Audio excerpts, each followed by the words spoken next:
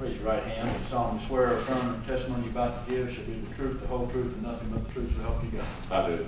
Have a seat, please, sir.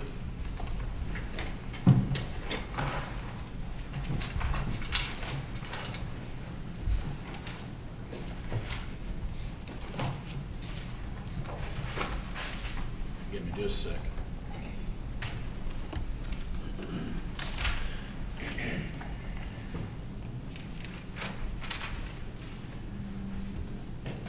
You're Sheriff Jeff Johnson, is that correct? Yes, sir. Tell the judge your uh, background, experience, and education, please. Uh, Your Honor, I'm 25, I uh, celebrate 25 years of law enforcement this March. Uh, Began my career in Hall County in the early 90s, working in the detention center, uh, the house arrest, work release area. Transferred to the city of Gainesville, uh, served about 10 years there, about eight years there, uh, in a patrol capacity, in a supervisor capacity, and in criminal investigations. Come over here in Dawson County, although I've lived here for uh, 34 years this year. I come over here in Dawson County in 2004. I was an investigator here. Um, I've served probably around seven years under Sheriff Carlisle, the previous sheriff, as jail administrator, as a major.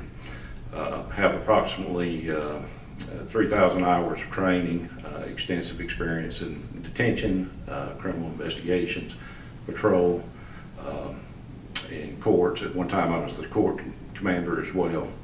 Uh, And then uh, uh, was blessed to uh, be elected sheriff in 2016, and I took office January 1, 2017. And you may have mentioned this, Sheriff, and I may have just missed missed it, your educational background. Uh, Yes, graduated from Dawson County High School as well as the University of North Georgia. It was the Gainesville uh, Junior College at the time, but uh, while I was there, they were uh, changed to the University of North Georgia. And the courses you mentioned in, in your training, uh, what, who offered those courses and what field was that? Well, they were various. At one time, I was an instructor, um, so a lot of instructor type training, supervision type training, which dealt with budgets, things of that nature, uh, offered through the Georgia Public Safety Training Center as well as uh, uh, through various other offsite locations. Now, uh, in, connection with any other law enforcement agency, did you ever participate in the budget process other, other than Dawson County? Uh, well, there's always input from staff and from supervisory staff, things of that nature. It Gainesville extensively. Now, you were elected in 2016, is that correct? That's correct. Started January 1, 2017. Yes, sir. And As a result, did you participate at all in the sheriff's office budget process for calendar year 2017? So in other words, in 2016, before you took office, did you participate in the sheriff's office budgeting process through the county for 17? I did. It was minimal. Uh, That year was election year as well as uh, uh, the Sheriff's Select Academy and things of that nature. But I was able during the periods to uh, work with Ms. Evans on the budget.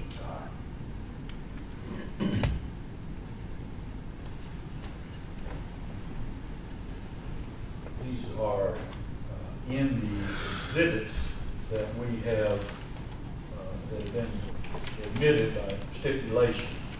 What I'm gonna try to do, Sheriff, to make this flow, put these on the screen rather than handing you a pile of paper. Yes, okay?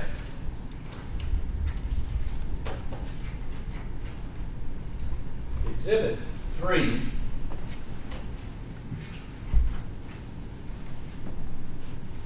This was when the Board of, I'm sorry, when the Board of Commissioners, I'm gonna start backwards and work my way in. But this is from November 10, 2016. You see that? Yes, sir, I did.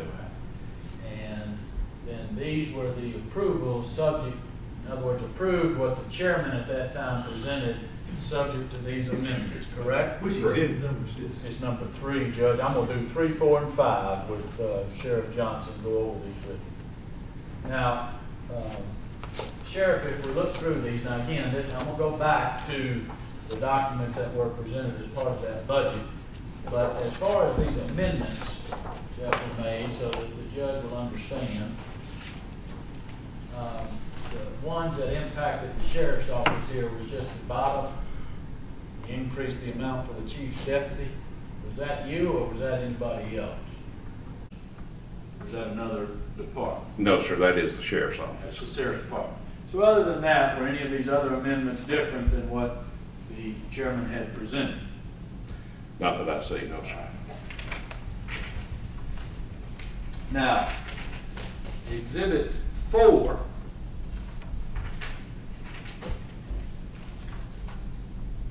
Is a multi-page exhibit that consists of the chairman's presentation.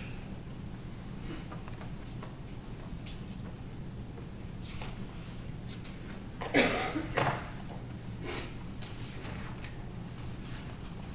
on just a second.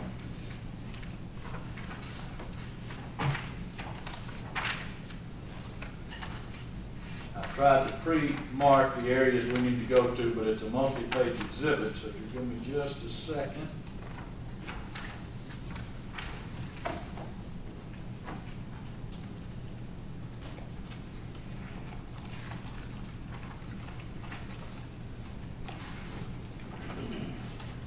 All right, this was the budget presentation that the chairman at that time presented, correct?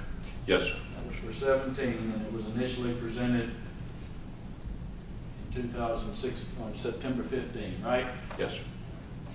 Now, within this budget presentation, the chairman provided for positions for the sheriff's office, is that right? That's correct. All right.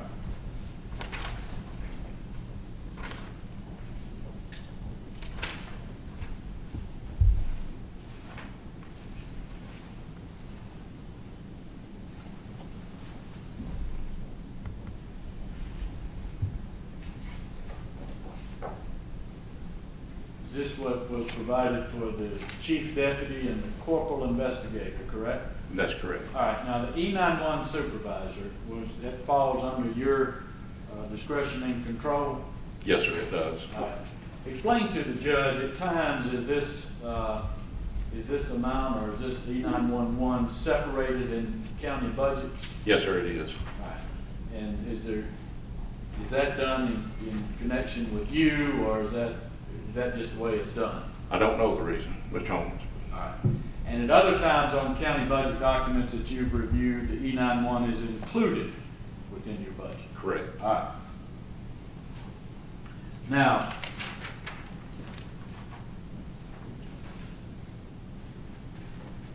within this seventeen budget presentation,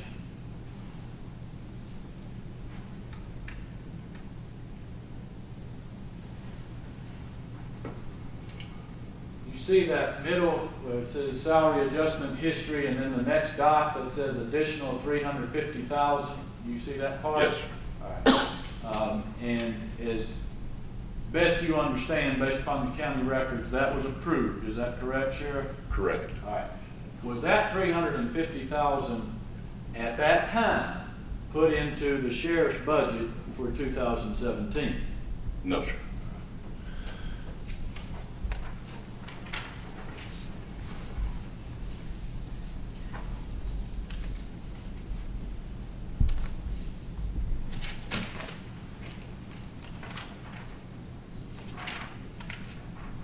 And then, in, sure.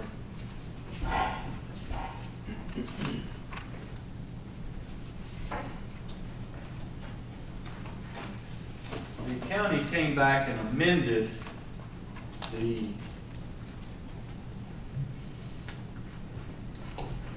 the budget in April of two thousand seventeen. Is that accurate? That is correct. Looking for one thing.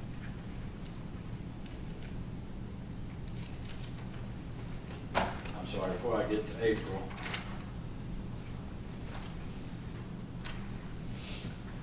Exhibit five, which again is a multi page exhibit, which is the final approved two thousand seventeen budget.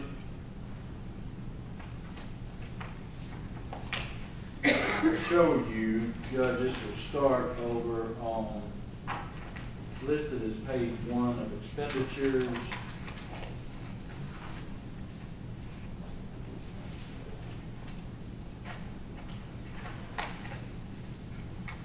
But you, and you probably can't read that because it's not coming through clear. Let me leave it alone for just a second.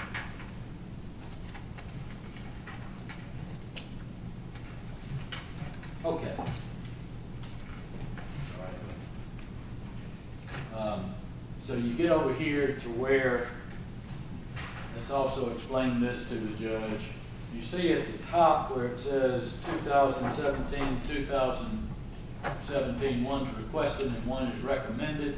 What Is that what correct? exhibit number is this? This is five. Okay. Yes, sir, I see it. All right, and for ease of clarification for Judge Bishop, does recommended mean the budget amount? That's what's recommended to the, to the board. All right, and if the board approves this budget, then that's the amount within the budget. That's correct. And what does requested mean? That's what we feel uh, through our budget process is requested. That's what you asked for, right? Now, did you go through on the sheriff's side of this, because it's broken out here, you've got sheriff's services, you've got school resource officers, in other words, it's not all directly in a row, is that correct? That's correct. All right. But did you go through and add up uh, this amount that was approved back in November of 2016? Yes, we did. And did that number come out to be the amount that uh, Chairman Thurmond presented in 2017 as the sheriff's budget for 17? The six million, eight hundred some odd thousand dollars I just presented an opening. Based upon what was originally budgeted for seventeen, that would have been correct. After the amended budget, that's incorrect. Right, that's all I'm asking is the comparison numbers that uh, Mr. Thurmond used when he presented his budget included what was approved in November of 2016 for the 17 budget, right? Correct. Did it take into account the amended budget from April? I'm sorry, run that. Did run it that take, it- did the comparison numbers that were presented, hang on just a second.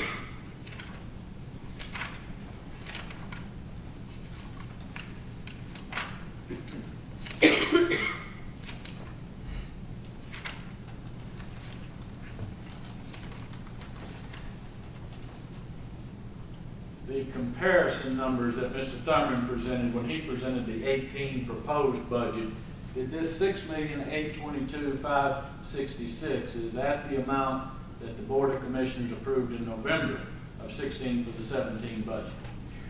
Yes,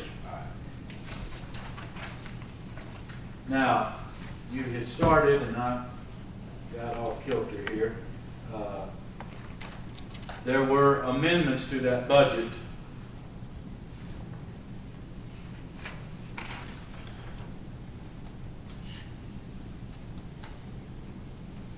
In April of seventeen, is that right?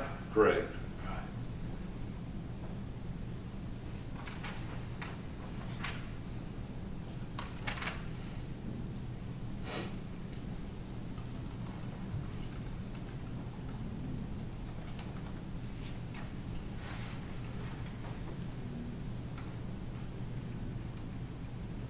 And there, this is what was approved on April the sixth, and Judge, this is exhibit number six, where it says, motion passed unanimously to approve the FY two thousand seventeen budget amendment for salary study pre-implementation.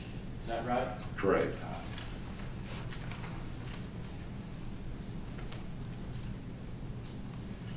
And Sheriff, are you familiar, do you have information there that can help you to answer about how many positions you had within the sheriff's office in two thousand seventeen at the time of this budget amendment? 112. And Sheriff, do you understand that was uh, half or roughly half of all of the employees affected by this budget amendment? Estimated. Right. Now, as to that budget amendment, it references a salary study. And this is, Your Honor, Exhibit 7. Back it up so you can see.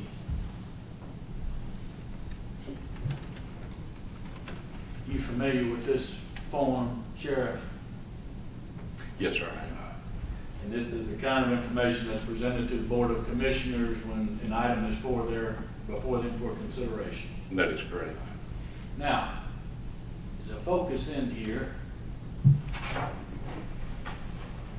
The salary cost of option two, full year. Tell Judge Bishop, uh, what that means, what that in- indicated. The first line there, salary cost of option two. Were there many options being considered by the board? I don't recall, Mr. Homans. And did the board approve an across-the-board increase? Yes, or not even across the board, but uh, there were raises. And the total amount that was added to the total, well, let's just go through it.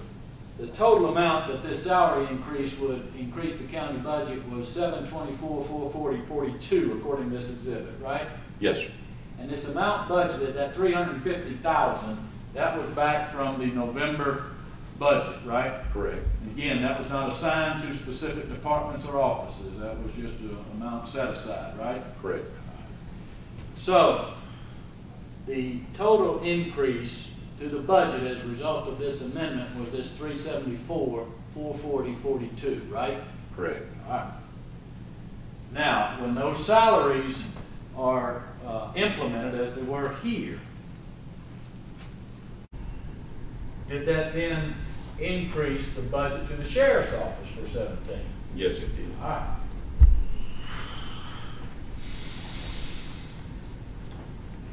So Sheriff, you say you have approximately fifty percent of the uh, employees impacted by this amount. In other words, it's hard to get an exact number, but approximately fifty percent. Approximately. So if there's, a- and none of the three fifty was previously assigned to your budget, right? Correct. Alright. So if we use the full seven twenty-four, four forty, point forty-two, we divide that by two, is that how much it increased your budget approximately? Yes, approximately.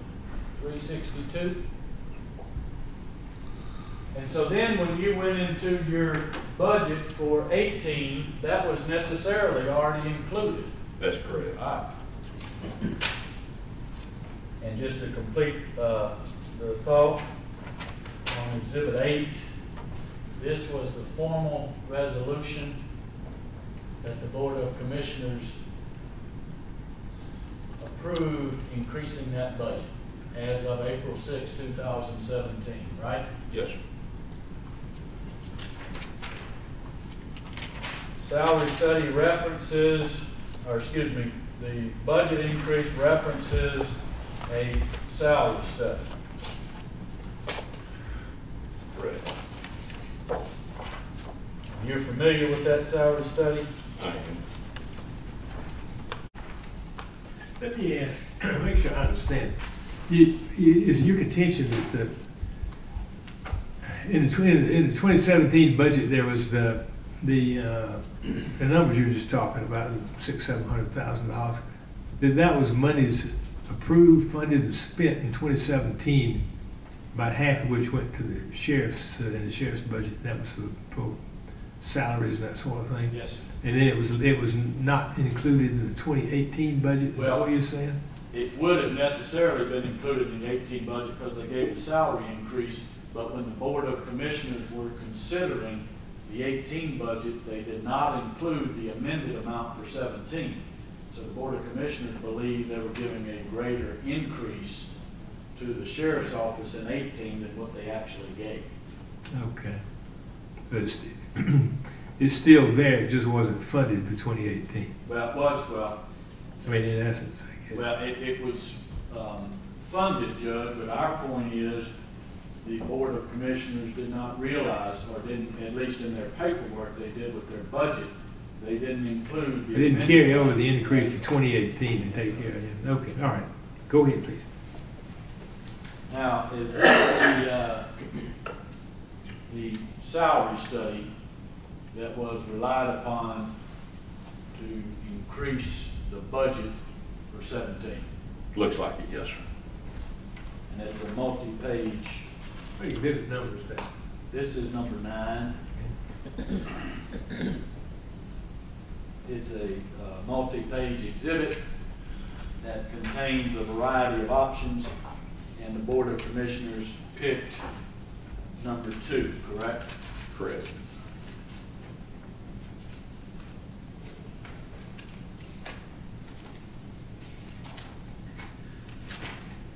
Now, let me also ask you that in the methodology for this salary study, upon which the commissioners relied in rendering their decision, they deemed, they relied upon ten peer organizations, right?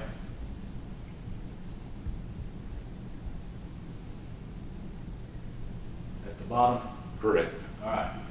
And that includes Cherokee, Forsyth, Gwinnett, and Hall, right? Correct. As well as Cumming in Gainesville.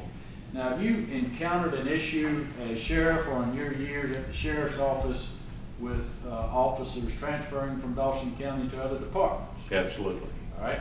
And are any of those departments listed here as peer organizations? Yes, sir. Forsyth, Hall, uh, occasionally Lumpkin, uh, and Gainesville. So you And do have, I'm sorry. And Cherokee. And you do have, so then you do uh, have comparisons with counties that are larger than uh, Dawson County that are in our area. Yes, sir. right?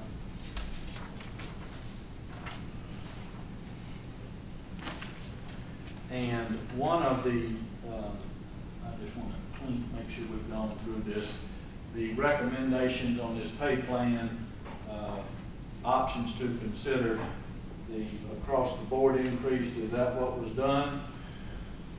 Or were there other, was it another option that was selected? If my memory serves me correct, I believe it was the cost of the minimum. I'm not sure- Okay. not sure exactly which it was entitled. All right?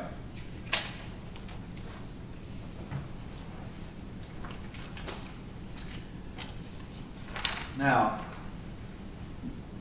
as well on, this is exhibit ten, there was a further amendment to the budget to fund, uh, additional positions, correct? Correct. Again, Judge, this is April 10 minutes, it's exhibit number, or April 20 minutes, it's exhibit number 10. And in this budget amendment, there was an approval for a planning and development budget amendment to add an assistant, correct? Correct. And there was also an amendment to approve planning and development budget amendment for a building inspector, right? Correct. Uh, You had no positions added in, in the sheriff's office other than the three you've already mentioned, correct? In seventeen. Seventeen, that's correct. Right. But then, when, uh, Mr. Thurmond presented his budget,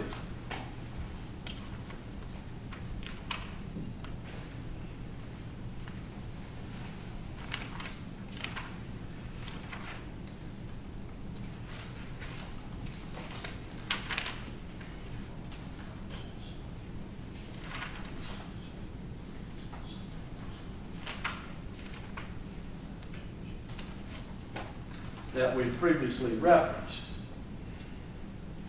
that is part of Exhibit 11, I'm sorry. I keep going wrong. Proposed budget highlights for 18, now this is 2018, again, what Chairman Thurmond presented. There it says no new positions, right? Correct. Right. So in that situation, the amendment from 2017 was taken into account, right? The amendment from April of 2017 was taken into account to make this statement true, that there were no new positions. Yes, sir. But the amendment on the total for the sheriff's office, or excuse me, the presentation for the total of the sheriff's office did not take into account the amendment from April 6th. Correct. All right.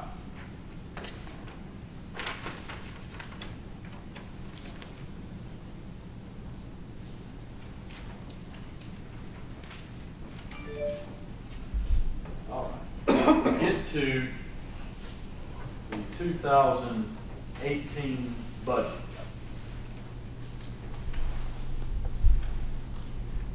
I'm going to start rather than going in the order that we've been going with exhibits fourteen and fifteen.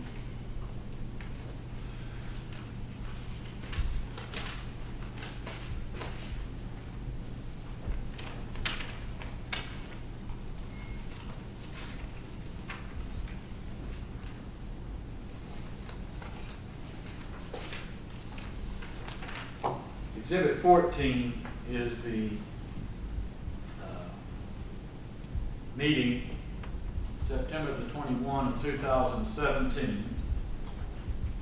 And that was when the 2018 budget was approved with uh, changes.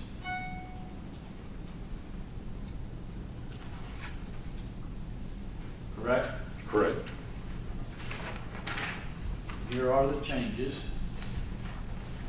I want you to, for right now, I want you to look here on the change that is made, and you'll see, if you'll come all the way down to Sheriff three three zero zero SWAT, small equipment. You see that? Yes, sir. What amount was previously there, Sheriff? Fifteen thousand. So that was removed to fund the SRO and that school resource officer, is that right? That's correct. And then we get over here to the capital projects fund.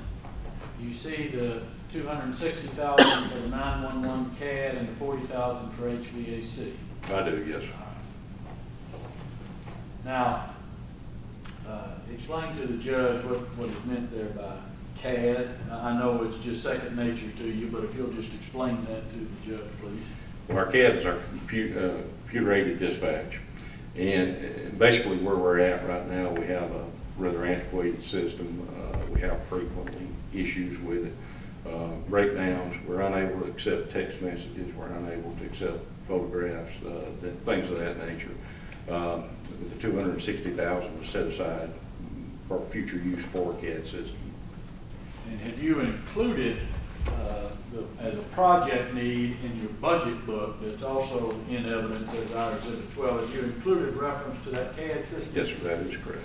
Sheriff, and I, it's in there, but you recall the uh, bid or whatever you received as to what the cost for that would be if it was timely purchased from when you got the, the bid? I believe that one was about 550000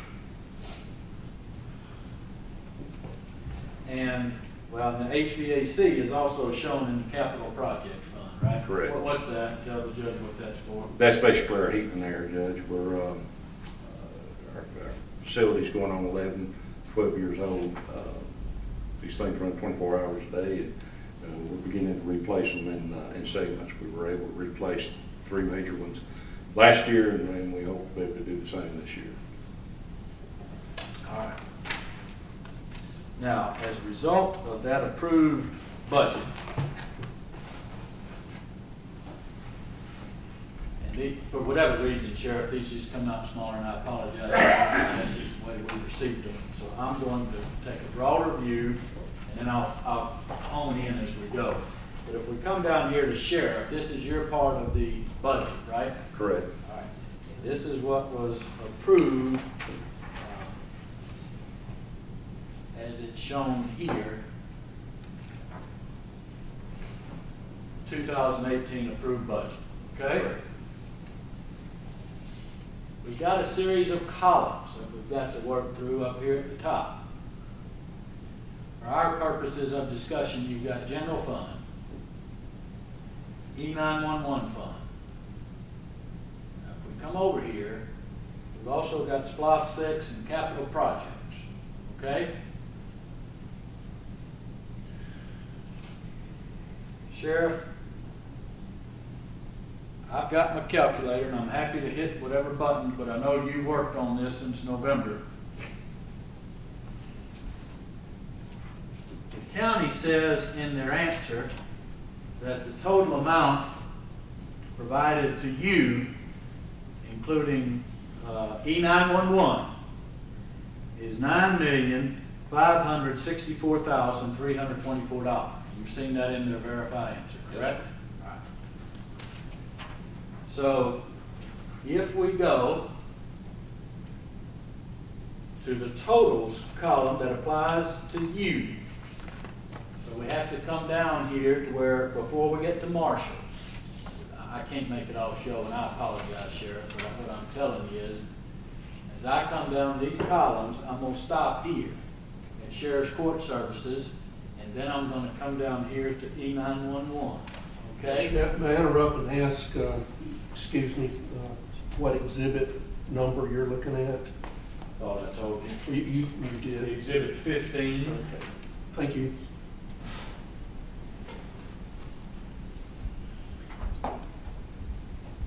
Good? Thank you.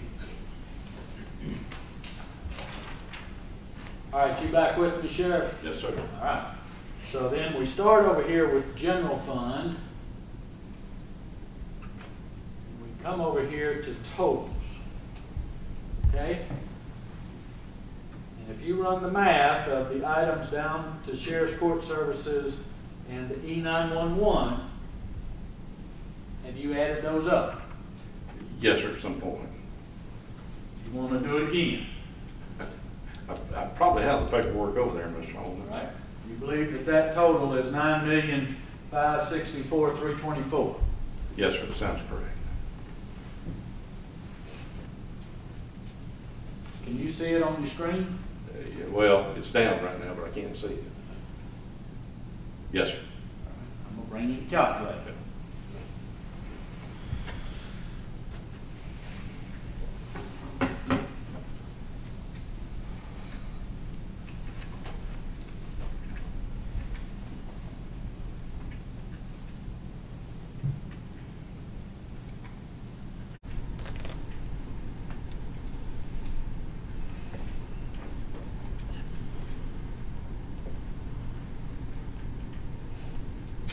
And Mr. Homans, uh, could you, would you pull it over to where I can see the nine-one-one?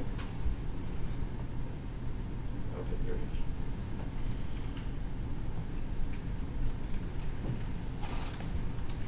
Nine million, five sixty-four thousand, three hundred twenty-four. Okay. And that's what the county said in their answer, is the, the total for the budget. However, the county also, in their verified answer, said that the budget subject to your discretion is nine million, one hundred seventy-three thousand dollars and eighty cents. So that difference is three hundred ninety-one dollars, excuse me, three hundred ninety-one thousand, two hundred forty-four dollars. Sheriff, the two hundred and sixty thousand, as you told the judge, that's in that capital project fund, that was restricted, right? That's correct. Tell the judge what we mean by restricted. Uh, it's not allowed to be used for staffing, things of that nature, it's set aside. My understanding, just for future purchase of a CAD system. And you don't even have control over that money, do you? No, sir, I don't. right. And you also don't have control over the grant funds of one twelve, two oh four, That's Right. correct. or these grant funds of four thousand forty. That's correct. And they had removed fifteen thousand from the SWAT fund, as you previously testified and as shown by the exhibit, right? That's correct. And while you've got the calculator there, will you add two sixty? One one two, two oh four, four thousand forty, and fifteen thousand. If I've done it correctly, one hundred and thirty-one thousand, five hundred and four. Let's go, let's get all the numbers in there. If you'll zero it out. 260,000 plus 112,204,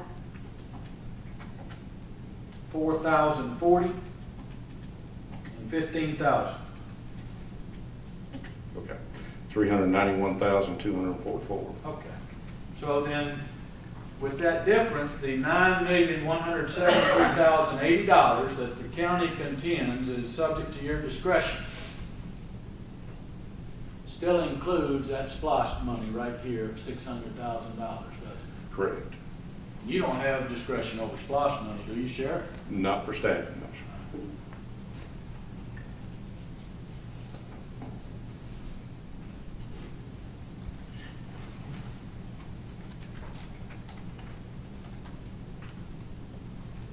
Tell the judge when you uh, presented your proposed budget for 2018 to the Board of Commissioners as contained in this notebook that I've given the judge. When did you present it? I would have to look at the date on that initial letter, Mr. Homans, so that would be an approximate. Go ahead, whatever the. I don't have the, uh, I don't have it with me. The budget book? Yes, sir. Oh, I'm sorry.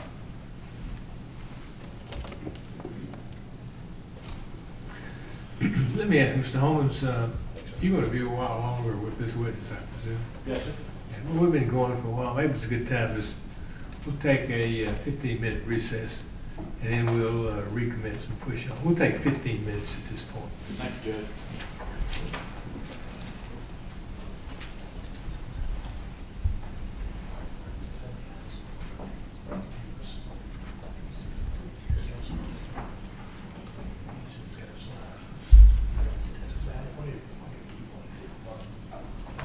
Sheriff, when we took the break, it was, we were, I was asking you about your uh, budget book, which is our exhibit twelve that's in evidence, and you the there with you, is that correct? That's correct. Right. First question I have for you is when did you first present that to the Board of Commissioners for consideration as your eighteen budget? I believe that was July of the fifth when we presented to the board. Right. And that was a budget hearing, a public hearing? That's correct. All right. Tell the judge what steps you went through to put together Exhibit twelve, your two thousand eighteen budget book. Well, in April, uh, approximately April and even before, we began during our weekly command staff meetings discussing the budget in preparation of what we need. Uh, This is, being uh, an employee of the previous sheriff for past 14 or so, or 13 or so years, uh, I wanted to do things a little bit different. I wanted to include our command staff. I wanted to make sure that we got a true and realistic budget uh, proposal. So we began working around in April uh, to discuss what our needs are, to identify our direction, our goals, what we wanted to achieve, what we wanted to accomplish, and what we needed to do to get there. All right? Now, uh, within this budget book, did you describe or explain your most critical need? Yes, sir. And did you do that at all public hearings regarding the 2018 budget uh, that the Board of Commissioners held? I believe there was one hearing that we did not present. I think uh, Commission Chair Thurmond, I believe Commissioner Gaines was not present. We didn't present at that particular budget meeting. But at any time you discussed your budget, did you explain your most critical need for 2018 budget? That is correct. All right. And what is that most critical need? The most critical need is staffing. And within your budget book, here on page three of that book,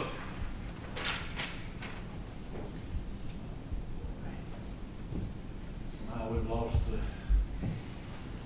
system. trying to think of what to do to get the system back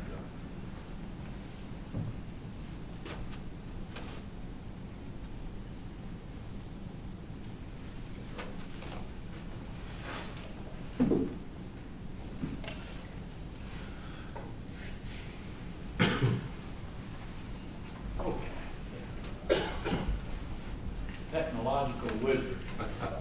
All right. Now, this is in page three of your budget book, correct? Yes, sir. All right. So walk the judge through this page of your budget book. You have a separate book there if you need to refer to it. I'll put up here however you want me to do it. Your Honor, it, uh, we began by requesting what we were, uh, to unfreeze several positions. These positions were froze several years ago when the economy was uh, in bad shape. We asked to unfreeze the, uh, and these were the titles of the positions at the time. We'd asked to unfreeze one K-9 sergeant position, one accreditation manager position, four detention positions, one communications officer, one sheriff's service deputy, one SRO position. And we also requested, due to the increase in caseloads, one new criminal investigator position assigned. Uh, After that, we did put down, or what I put in there in our budget book was our current staffing levels to let the commissioners know uh, where we're at with our current staffing, uh, which was 112 positions at the time. Uh, We, we did ask for a minimum. Uh, Our goal was hoping that the Board of Commissioners would work with us uh, toward, toward increasing our staff or from our needs.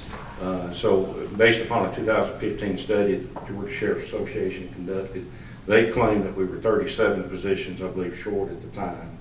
Uh, Your Honor, we believe in taking what we have and, and using it to, uh, to its maximum capability.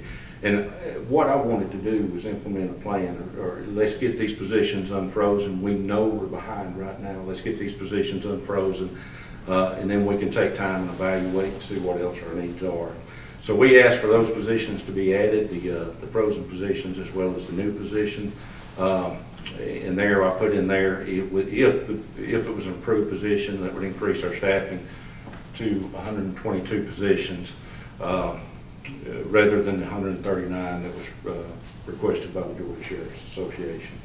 All right, and let's go through these positions. Uh, First of all, uh, what would the accreditation manager, uh, that was a title back in 2000, when the position was frozen, whenever that was? That is correct. Right, And what was your intent with that position? That would be reassigned to a uniform role, an enforcement role. And would any of these other positions also assist with patrol? Absolutely. The K-9 sergeant would, uh, the sheriff's service deputy would, which would increase our warrant service, our papers, the SRO position. The Criminal investigator would be just for that, um, to assist with the increase of of, uh, caseload. Let me ask, on the, uh, on the un- unfreezing issue, were those positions that were, uh, were they prior approved, prior requested, but uh, not uh, approved or funded, or, or what? Prior approved and no longer being funded. Okay, were they ever in effect as far as being paid for? Leave That- that, Yes, sir, that is correct. Okay, so those are active positions with people in them, and people being paid and funded that were basically, uh, uh, basically terminated or something? Reassigned, or if an employee left, they would not refill that position. Okay, all right, go ahead, please. So to follow up on the judge's questions, when it's listed as unfrozen, those were positions that were funded at one time. That is correct. But uh, you still had the position, they just were no longer funded. Correct. Do you know, Sheriff, approximately or when uh, those positions were you know, frozen as described here are no longer funded?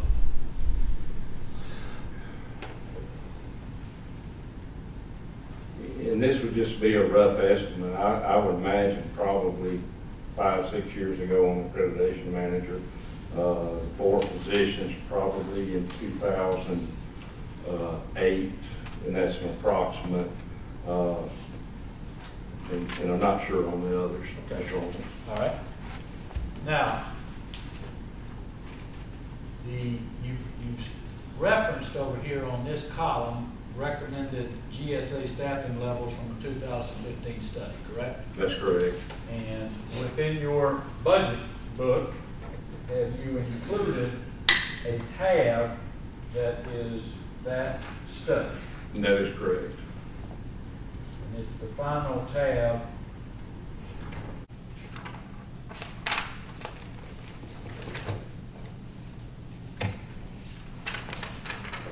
That's included within your budget book again, I'll back out, come back in. But that's the staffing analysis to which you refer. That is correct.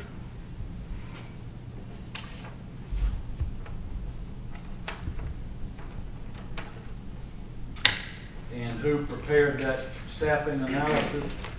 That was completed by Bill Hallsworth, who uh, is employed with the Georgia Sheriff's Association. Well, I need this more. Now, included uh, within your budget book at tab one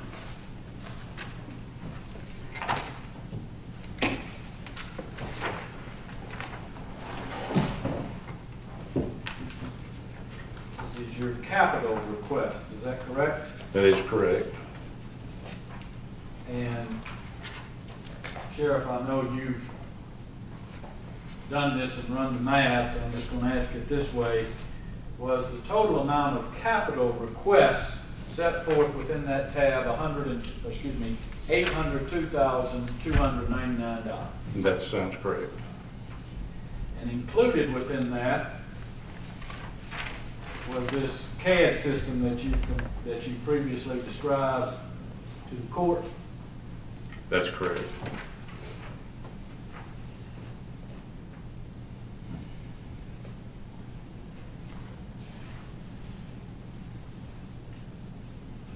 And this at least was part of the estimate, was five hundred twenty-one thousand four eighty-seven.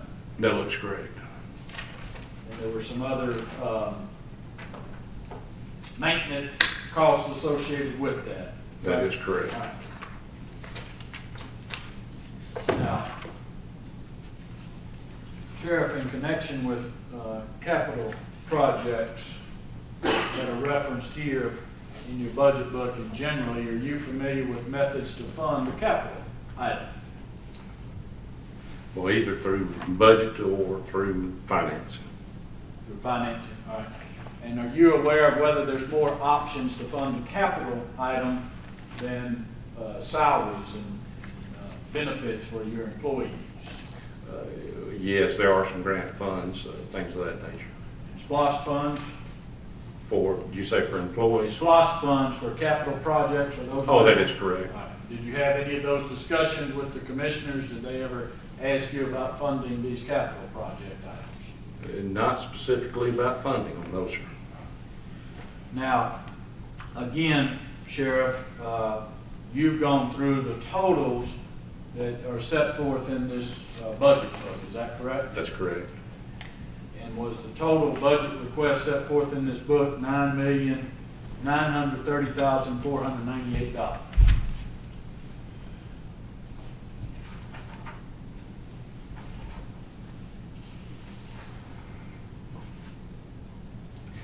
My numbers reflect nine million, one twenty-eight, one ninety-nine. Okay. And your number, does that include the uh, capital project items? No, sir. Okay. So, if we- but if we include those,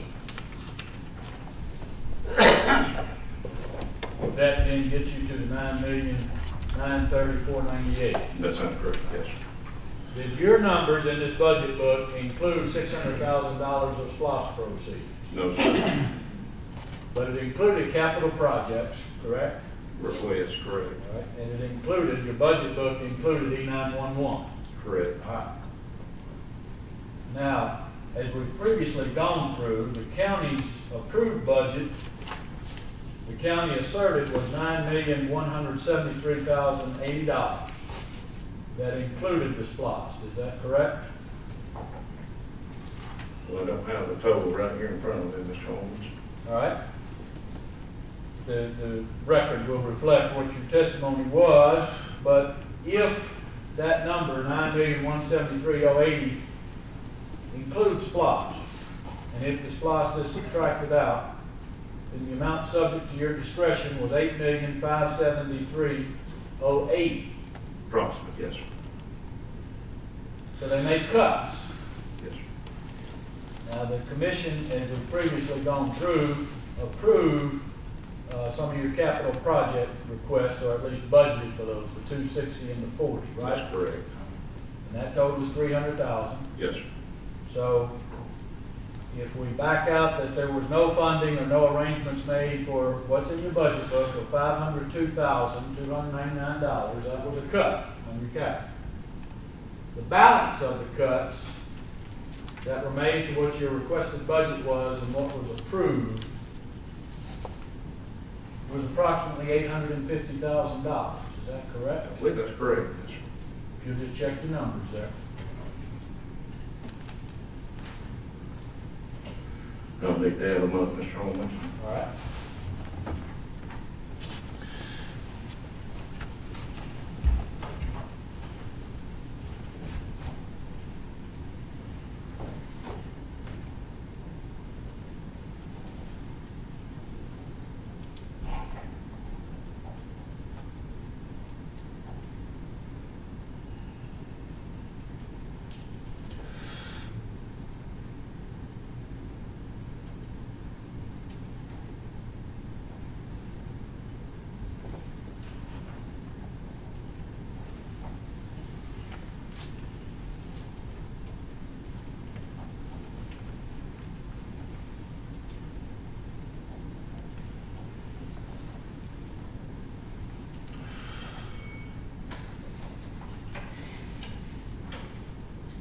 What I'm coming up with, Mr. Homans minus the capital improvements, minus the SPLOST.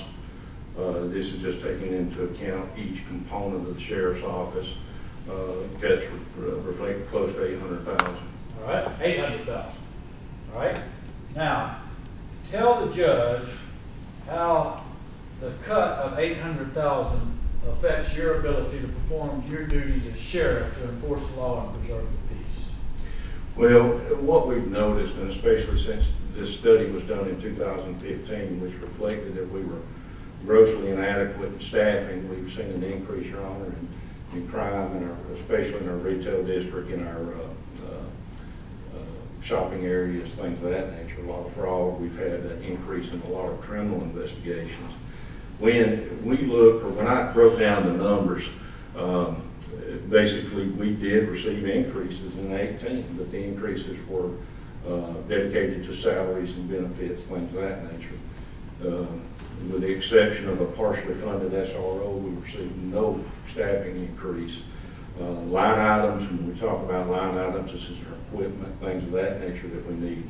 We experienced a negative, we experienced a reduction over our 2017 budget, which, uh, which I would contend was uh, um, inadequate. We did have some relief at the end of 2017 with some, with some money that was left able to purchase some things. Uh, But ultimately, we did see an overall increase in our budget due to the salary increases and associated benefits. We seen a decrease in our line items. Uh, We seen the only staff that we got was a partially uh, funded SRO position. Tell the judge what you mean when you say a decrease in your line items.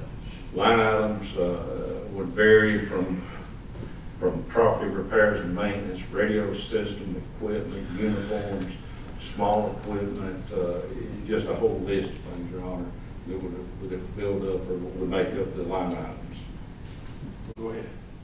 How, how would the, uh, budget cut, uh, impact the various divisions within the sheriff's department to perform, uh, the duties of preserving the peace and enforcing the law?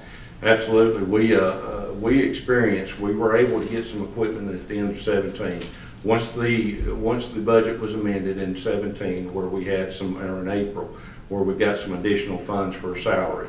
Um, After the election, there was internal candidates and, and there was lines drawn uh, ultimately with a lot of the employees there. In sixteen, after the election, we lost several employees. We've now built back up the staff that we are allotted um, going into looking forecasting what we have compared to 18. Uh, and, and it's our goal is to keep this thing staffed as well as we can. Right now, we're competing with Forsyth, we're competing with Hall, we're competing with Gainesville because they've recently got pay raises, things of that nature. But it's our goal and it's our hope and prayer that we keep our, our, our uh, staffing up. If so, if we're able to achieve that, we're well underfunded in our overtime budget, we're well underfunded in our line items.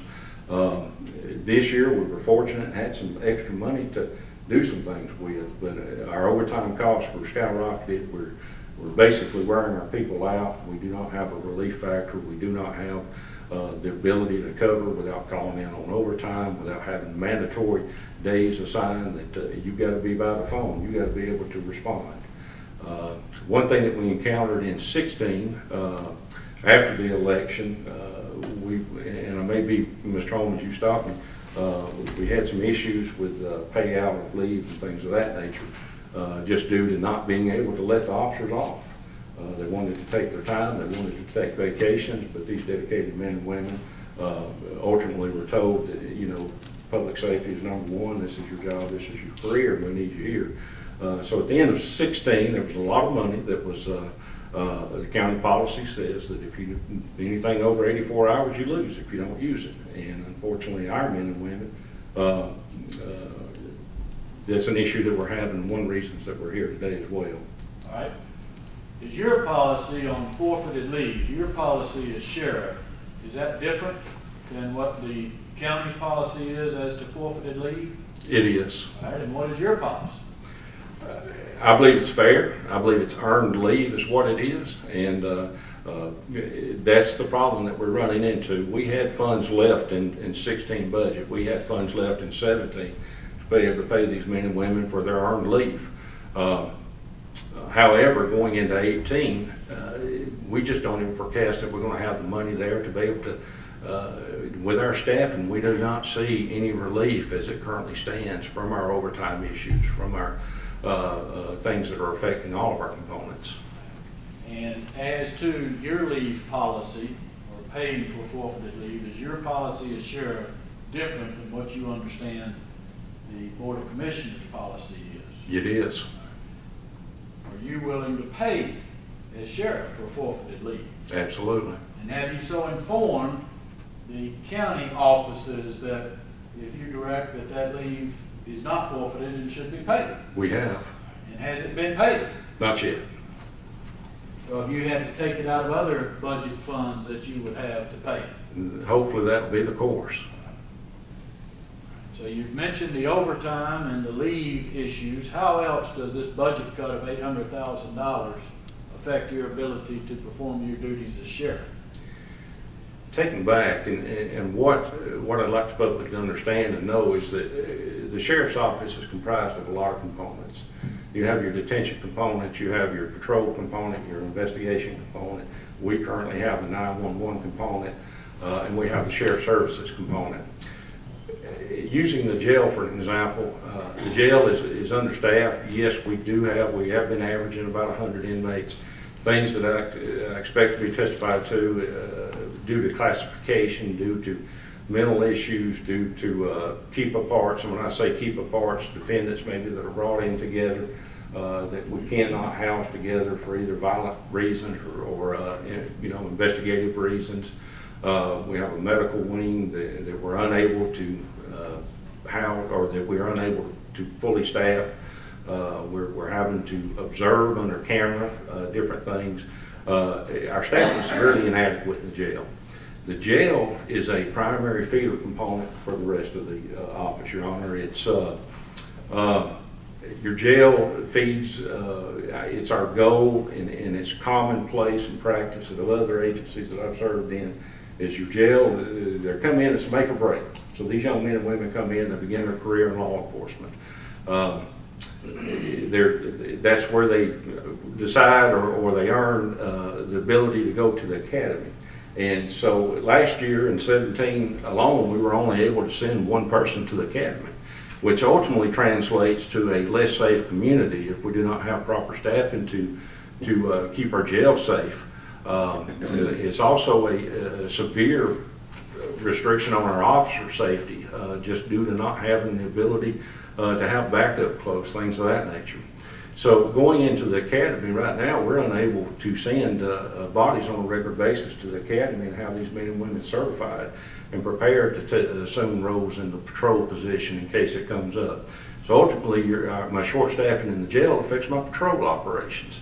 uh, because I don't have the certified bodies ready to insert in these roles when these men and women, and if these men and women leave to go to surrounding agencies, which they have for uh, higher pay. Um, it, it all boils down to, uh, if we do not have the adequate staffing in our patrol, to have these men and women out being proactive, being, uh, uh, being seen, being able to have the ability to actually patrol, instead of, as Mr. Homans said earlier, just call takers. Uh, we have to, uh, I've always said that an ambulance riding down the road is not gonna keep me from having a heart attack. But a patrol car sitting on the side of the street may prevent a crime, it may prevent a burglary, it may prevent a robbery. Uh, and right now, we're just not able to be proactive. So that results, ultimately affects our criminal investigations. Our criminal investigations are, or uh, investigator staffing wise are down. Uh, but yet our cases continue to crime, and it all relates to not having uh, a strong presence on patrol, Your Honor. Uh, drug investigations, we're able, our child molestations are up, our sex crimes are up. Um, some of these frauds, these are very time-consuming investigations. Uh, when you have to pull an officer out to attend a SANE exam or to attend a, a forensic exam and interview, and, and not even discussing the court time it takes for these officers and investigators to come in, these are times taken away from cases. Um, and it ultimately translates to less service to our community. Uh, our, our community is suffering.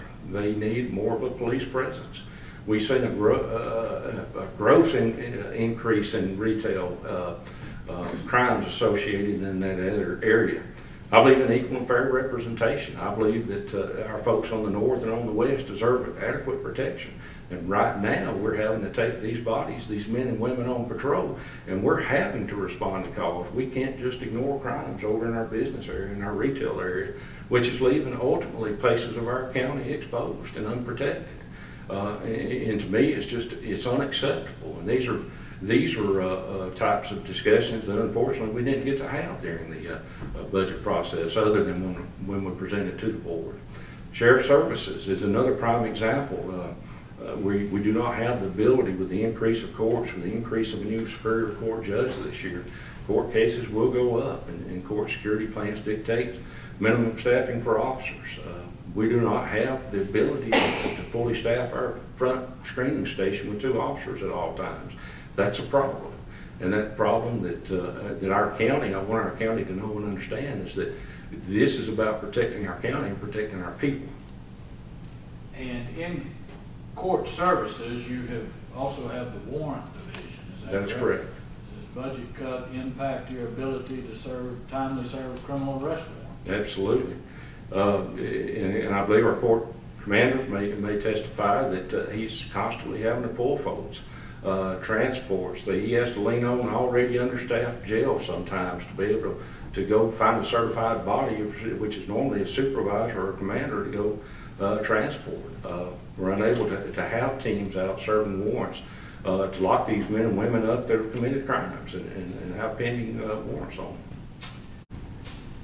Now, you based your staffing request on the 2015 study, is that correct? That's correct. And has the county grown since 2015? Yes, sir. First of all, is that taken into account in your uh, budget request, the the growth?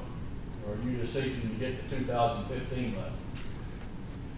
Well, that's not even the 2015 level, Mr. Homans, so that's just, that's just trying to, entering into this thing that was hopeful that we would work with the board to be able to start working toward those numbers. And tell the judge the, the growth of which you're familiar with Dawson County from 2015, or whatever the effective date of the study is, to 2018.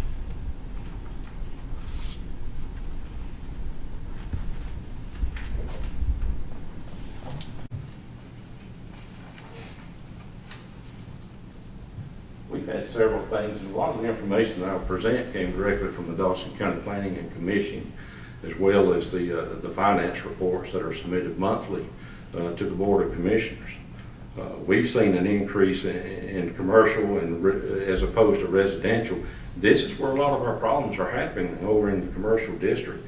In, they were twenty-five percent higher than residential uh, uh, demands in sixteen, and they jumped to fifty-two percent higher residential in seventeen. So again, this translates to our officers are having to, having to be over to answer these crimes, to work these crimes at sleeping areas of our county uh, unattended. And when you gave that percentage, was that the permits or was that number of calls? Uh, Well, this just deals, Mr. Homans just with the commercial and residential numbers that we're looking at. Uh, Or, or, uh, commercial versus residential crime. And, uh, again, uh, obtaining information from planning and zoning, uh, it looks like from fifteen through seventeen, there were approximately four hundred and thirty-two new businesses open. During that same time, businesses closed, but they're still resorting, uh, in the numbers that I've got, are approximately hundred and eighty-eight new businesses that have, that have come on since 2015.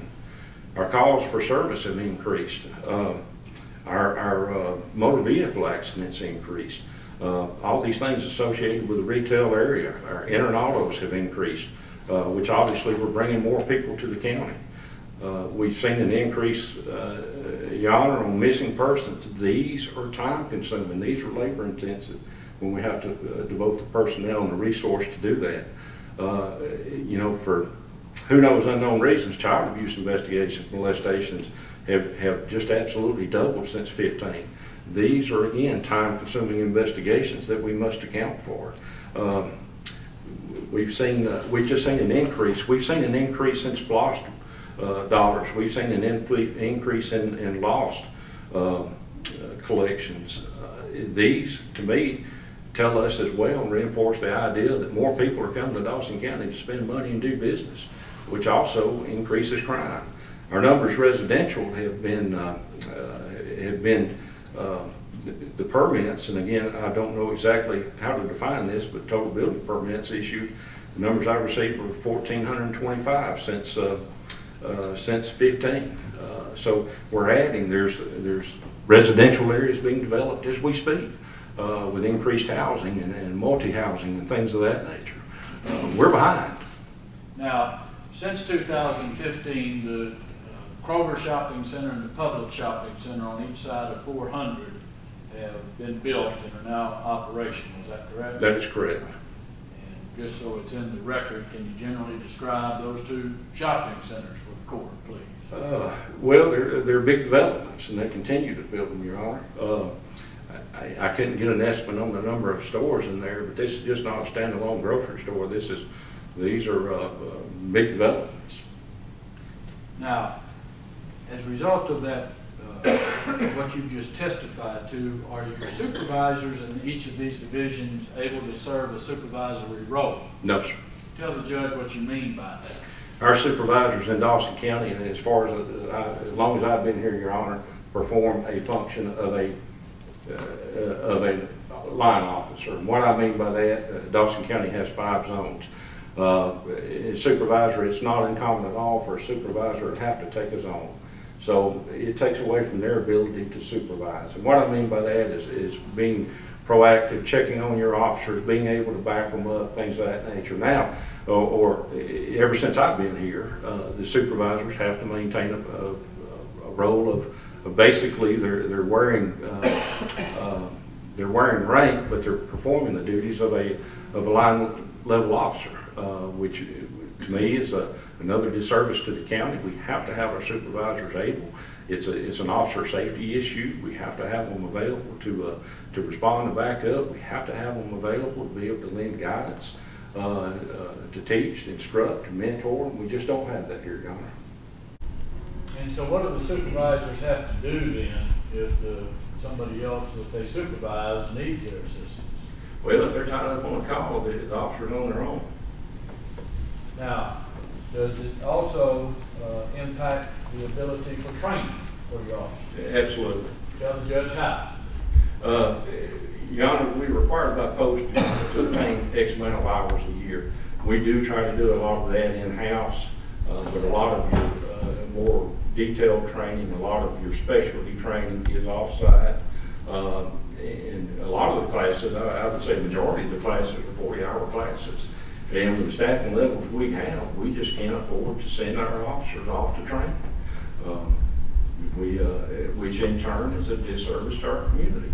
I truly believe that uh, a knowledgeable officer, an experienced officer, a well-trained officer better serves our community. Just put your officers at risk by not having that training, Absolutely, put the public at risk. absolutely. And what is the reason you can't send them to training? We just don't have the staffing. We don't have the relief factor. Does the uh, cut or lack of staffing affect your ability to have meetings with you as officers uh, or as they change shifts? Absolutely. Tell the judge about that. Your Honor, it's, uh, it really astounded me when I first came to Dawson County in 2004 that we didn't have shift change. And basically what shift change is, uh, for, for everyone's knowledge, is, is the, uh, an officer basically, uh, now, they, they may get on the radio, now, now don't get me wrong, we've got some dedicated officers that are still come to work early, but I can't get the funding, I can't force them to come in early for shift change. I just don't have the funding, and, and, and that was denied during our budget request. And basically, a shift change is where the officers come in early, the supervisors come in a little bit earlier, they meet with each other, they discuss any, special issues that's went on during the days, they discuss any special bolos, uh, they exchange information. Uh, anything that needs done at night, anything on day shift that they may need to follow up with, that gives them the opportunity to meet and speak with it. The officers normally would come in 15 minutes early, they would stand in formation, the supervisor would inspect them, make sure that they have the equipment, the gear, make sure that they're physically able and that they're not under any type of, and Lord help, I hope that doesn't happen, but not under any type of intoxicant, things of that nature. The supervisor needs to see, needs to have the ability to speak with them, needs to have the ability to inspect them before these men and women go on duty. The supervisor passes along information, uh, bolos, gives district assignments, zone assignments, uh, things of this nature. And uh, it's critical that we have it, and, and uh, I don't know of any other county around that, that still operates as we do. What about over in jail? The, the, The same thing, Your Honor. Uh, Mr. Homans, it's, uh, uh, there's no shift change there. In your funding, do you have sufficient funding for administrative staff or administrative personnel? We have taken, uh, Your Honor, over the years, when, and, and this was primarily done to increase our law enforcement presence. Uh, We've taken uh, administrative assistants. When, when criminal investigations, when this building was uh, opened, uh, we didn't have a staff. We, we moved from a, we moved from a shack into a mansion when we left our courthouse, uh, which increased our staffing. And we had to take the, uh, the information that I've got from, from a captain who was in investigations at the time, is that they took one administrative assistant that was in criminal investigations, and uh, a lieutenant when he retired, or uh, investigator when he retired, they transferred those two positions to staff the courthouse as we have it now. Uh, Criminal investigations has no administrative assistant to help them to, uh, to do the administrative work. It falls back on the shoulders of the investigators. The patrol component has no administrative assistant. They did it one time. Uh, We've reduced our administrative staff and reassigned them to uh, uniform roles in an effort to try to reduce crime in our community and try to increase public safety. Uh, But we, we borrowed and borrowed and borrowed, and now we're, we're down to bare bones where we just don't have anybody else to borrow from. And what impact does lack of administrative personnel have on the ability to uh, protect the public and enforce the law? Well, the administrative staff is critical to allow our supervisors and allow our command staff to actually do their jobs. And right now, a lot of those administrative duties are falling back on the component commanders. And, and I admire them for what they're doing, but, uh, uh, we continually boils down to public safety. Our goal is public safety and increasing safety. And when these commanders have to do these administrative tasks, it takes them out of their role of what they need to be doing. Now, you've described to the judge the uh, new process you went through with your 2018 budget, from the budget book to the public hearings, correct? That's correct. Did county personnel meet with you uh, before you made the budget presentation on July 5, 2017, as you described? That is correct. Uh, Again, internally with the command staff, we began meeting in April to discuss it. Around June, uh, around June the 1st, Sandra Evans, our budget manager, and I met with uh, uh, Vickie Neikirk and Natalie Johnson. Uh, And please forgive me if I uh, said the name wrong, uh, but with finance to discuss what our needs were. Okay? And did you have your budget book at that time? Did you go over it with them? I don't know if we had a budget book, but we had our numbers, we had our justifications. And uh, at that meeting, were you given recommended numbers? No, sir. When did you get what uh, the recommended numbers were from uh, county staff, finance department? We met June the first with uh, Miss Vickie and Miss Natalie, and we began to, uh, through Miss Evans, we began to ask for the recommended numbers. We were getting a little concerned with it because each time that we would inquire, well, they're not ready yet, or we don't have them. Uh, We actually received our recommended numbers from finance the morning we presented to the board, our, our budget. And have you had a chance to review what staff recommended now? Yes, sir.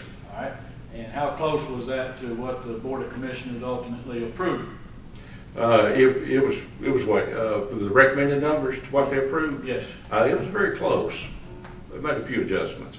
We did also meet, uh, uh, met briefly with the chairman, met briefly with, uh, uh, uh, two of the commissioners as well to discuss budget. However, there was no specific, uh, discussions about how we can increase public safety, what we can do to make our community safer. When I originally met with the commission chair, uh, basically it was a conversation of we only have so much money, uh, to go around, but there's no discussion whatsoever about budget, about staffing, about line items, things of that nature. When, when the major and I met with uh, uh, Commissioners Gaines and, and uh, Nix, uh, we did have a brief discussion on capital improvements. Uh, uh, Basically, what's your priority with them? We had no discussion on staffing, we had no discussion on line items. Uh, uh, We did have a lot of discussion on county attorney, we did have discussion on uh, uh, finance issues, things of that nature. All right, and in connection with those finance issues, had you encountered uh, disagreements with uh, the county or county personnel about personnel matters or purchases? Yes, we have. Right, describe that to the court, please. Uh, Your Honor, we went, uh, uh, we had some issues, well, right off the bat, we had issues with, with the, uh, with this uh, payback of the leave for the officers. And basically, it was, uh, that's outside of county policy, Uh, we can't do that. Uh, We did, uh, I did, op- That, that's overtime that hasn't been paid, that it's taken as time off. well, not overtime, Your Honor, it's time that they, you know, they earned like 10 hours a month for leave time, Okay, and it builds through the year. okay. Uh, We also had some uh, uh, concerns about the heating and air uh, vendor that we've had. Fortunately, I've been employed with the sheriff's office for 2004, and as the jail commander for some time, I handled quite a bit of the maintenance for the uh, sheriff's office. Had a lot of, had a lot of bad experiences with one of the vendors, uh, uh, not contacting our, our county uh, maintenance folks when they were coming in, things that were said were being done, not being done. Uh, So I opted to go with an outside vendor for the, uh, uh, for our heat and air supply, which we have greatly reduced in seventeen, what we spent on maintenance with it. Uh, We had, uh, I think we had some concerns with uh, maintenance on our generator. We have a uh, approximately three-quarter million dollar generator that operates our jail, that operates our 911 center, things like that. Uh, We have a lot of people coming in, uh, county uh, contractors that are changing oil, different things, and we were having a lot of issues with it. So we opted to go back to the, uh, uh, to CAT, the uh, person, or the vendor that made it. And we have virtually eliminated our issues with it, but it's a public safety issue. It was a, uh, a 911 issue that, uh, that we needed good service on our, uh, and regular service on our uh, generators. Uh, You know, purchasing, we've had some issues, uh, things of that nature. And had you, did you schedule and have meetings with county personnel regarding what I'll call these ongoing issues? Uh, We did, you and I met with uh, Chairman Thurmond and uh, uh, David Headley, the county manager. And was any form or proposed solution ever submitted back to you from anybody at the county to resolve those ongoing issues? Not a form or anything like that. And so as we sit here today, did the deputies that had forfeited leave that you agreed to pay, have they been paid? Not yet, no, sir. That's all I have at this time, Your Honor. Ross? Sheriff. Hey, Mr. Brown. I'll try not to go back over everything, I can things.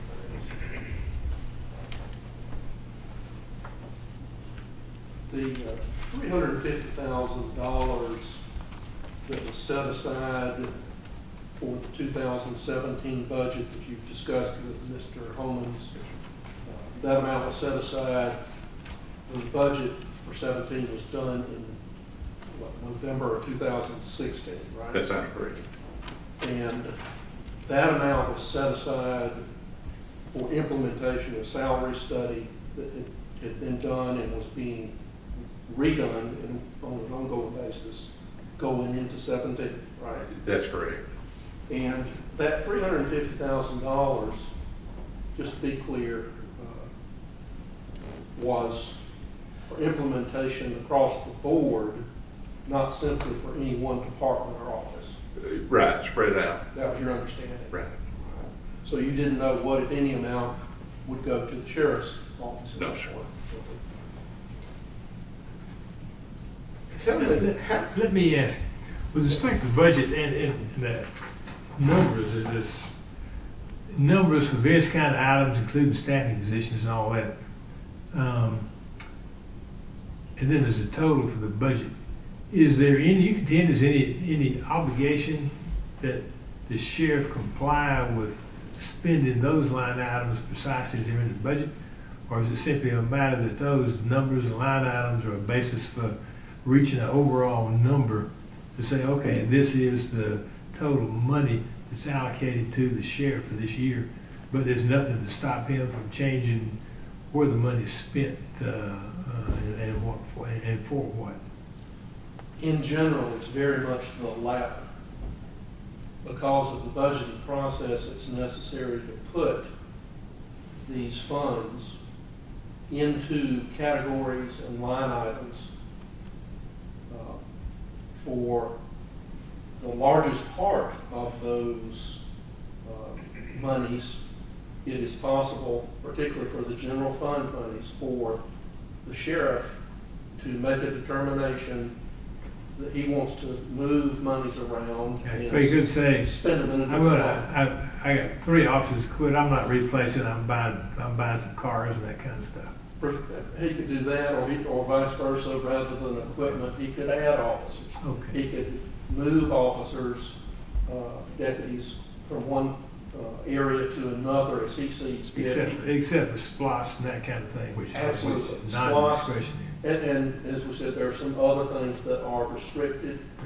The primary thing, though, is the, the SPLOST money, because that is restricted, even the Board of Commissioners can't do a whole lot to change that. It's largely uh, dictated by the resolution, the ballot, and the intergovernmental agreement. I understand. Go ahead, please. Thank you, sir. Uh, How much did your salaries uh, in this 2018 budget uh, as compared with the 2017 final uh, approved and amended, because there were amendments to implement the salary study. How much did the salaries for your sheriff's office overall go up from 2017 to 2018? Can I step aside and get a? Sure. I've got, I've You got, have a I've got this figured out, Mr. Please. Wright. Tell us where it is. That's all right. I'm sure.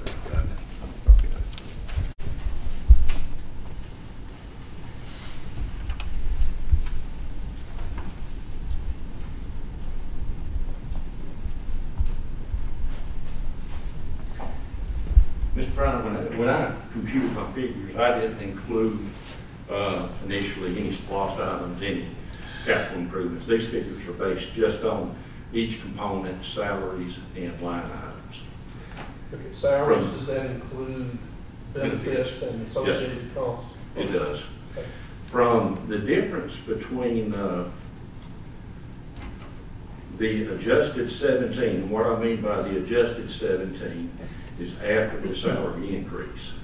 So the difference between the salary increase 17 and the approved and recommended 18 total of two hundred seventy-five thousand, five hundred eighty-five, according to my figures.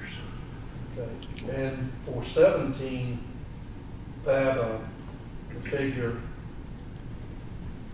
as far as the salary study, uh, additional funds that were implemented, that would have been for roughly eighteen pay periods rather than the full twenty-six, given that it didn't happen until what, April? Should have been right.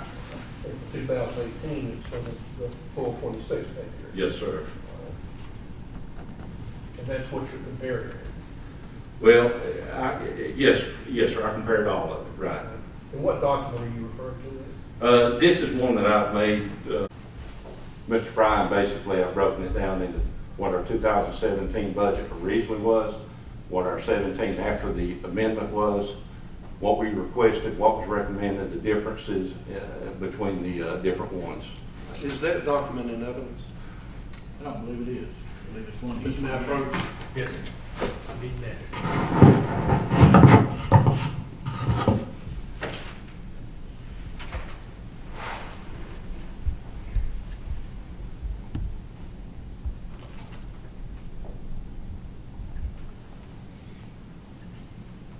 And this document was prepared by you or under your directions? By me, And to the best of your knowledge, it's, it's. yes, sir, accurate. yes, sir. have this marked as a respondent's exhibit, um, a, a, copy of it. I'm fine with him keeping the original. All right, what number is it? Uh, this would be, uh, I believe it would be R24.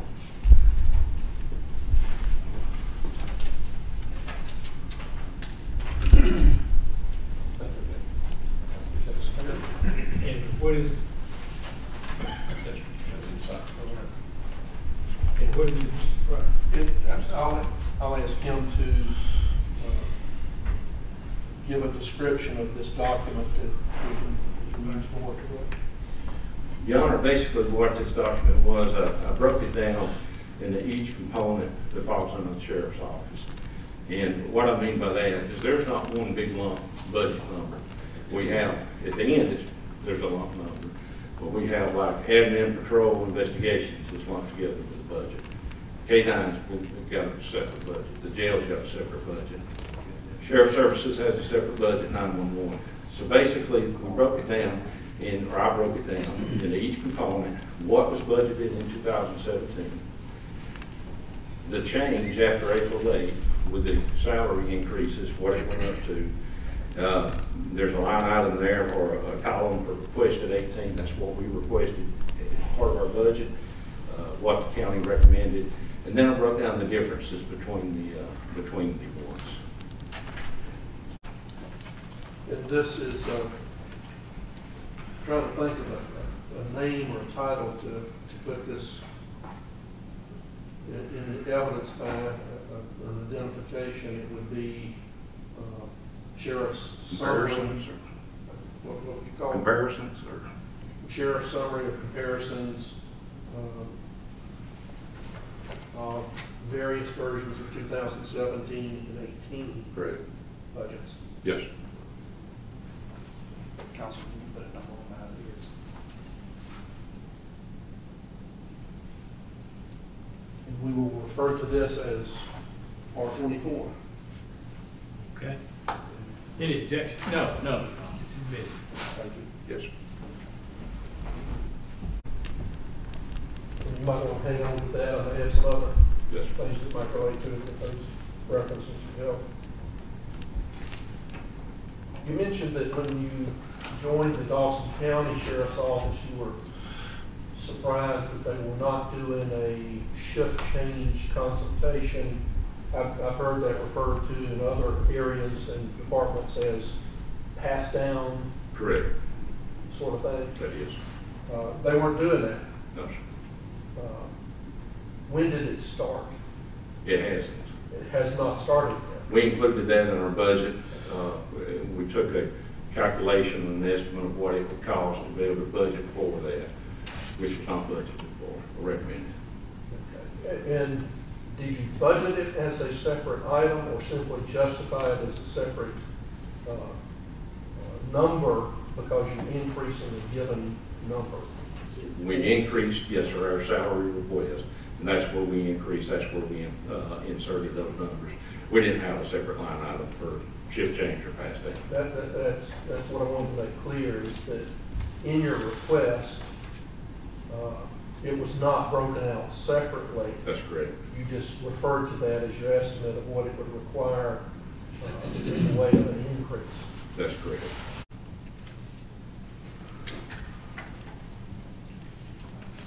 So your, your salary figure for uh, 2018 is increased over your 2017 numbers, even if you consider it the final 2017, the amended numbers, 2018 is, is still bigger.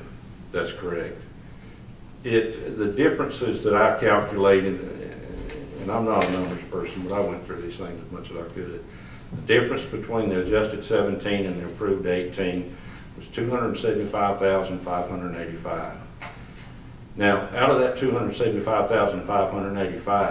hundred and seventy-five thousand, five hundred and eighty-five, two hundred and seventy-two thousand of it, three sixty-seven, is directly attributable to salaries and associated benefits.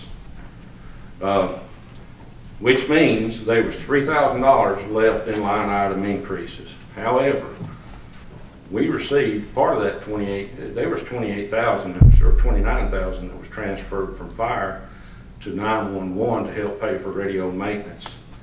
So basically, we resulted in, in a deficit of twenty-four thousand dollars, nearly twenty-five thousand for line items. Uh, so overall, we did see an increase, but the increase was dedicated to the salaries and to the uh, associated benefits.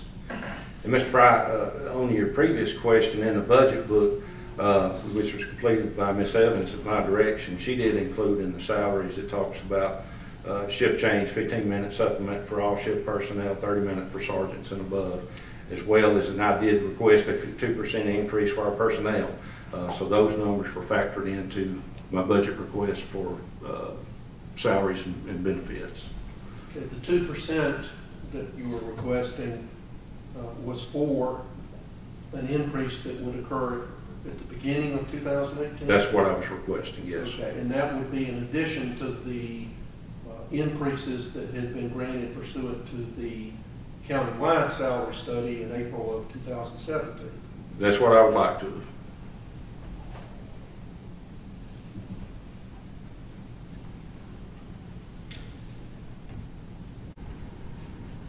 I'm ju- just curious, when Mr. Homans was asking you about the peer uh, jurisdictions that were considered in the salary study, uh, I think it's P nine is his exhibit.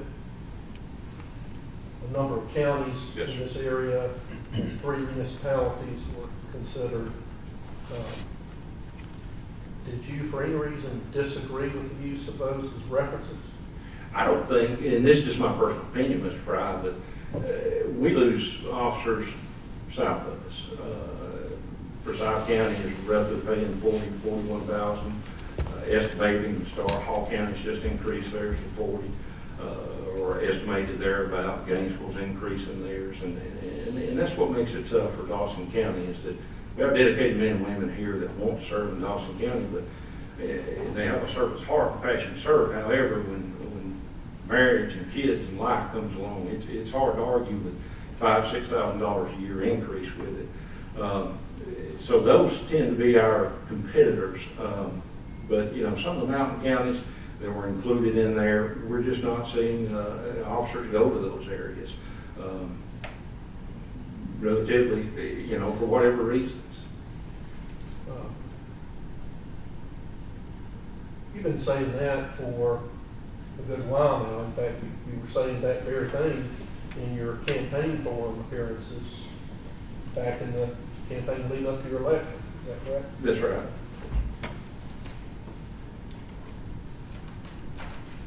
You recall saying in those same campaign forums that, uh, to use your words, that the crime was, had been drastically reduced leading up to the time of your comments in those campaign forums? I don't recall that. You don't recall? No, sir. Do you deny it, that you said that? You- You're saying that I made the statement that crime had been drastically reduced? Yes, sir. Mr. Frey, I based my statements on solid numbers, and uh, I don't recall, uh, that doesn't ring a bell, nor does it sound something that'd be indicative of what I would say, unless I had the hard concrete facts to back it up. If you said it, you were wrong. If I said it, I was wrong. Right. Keyword if.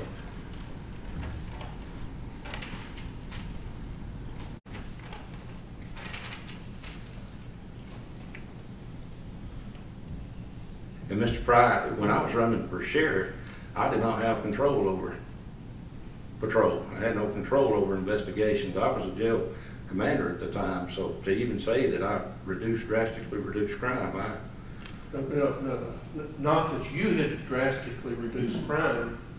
What you had said in the forums was that the uh, crime in Dawson County had been drastically reduced. you'd have to show that to me, Mr. Frey. Let me uh, ask you, you mentioned several different categories of uh, what I'd call benchmarks in terms of those kind of things a little earlier. Um, See if I can find those.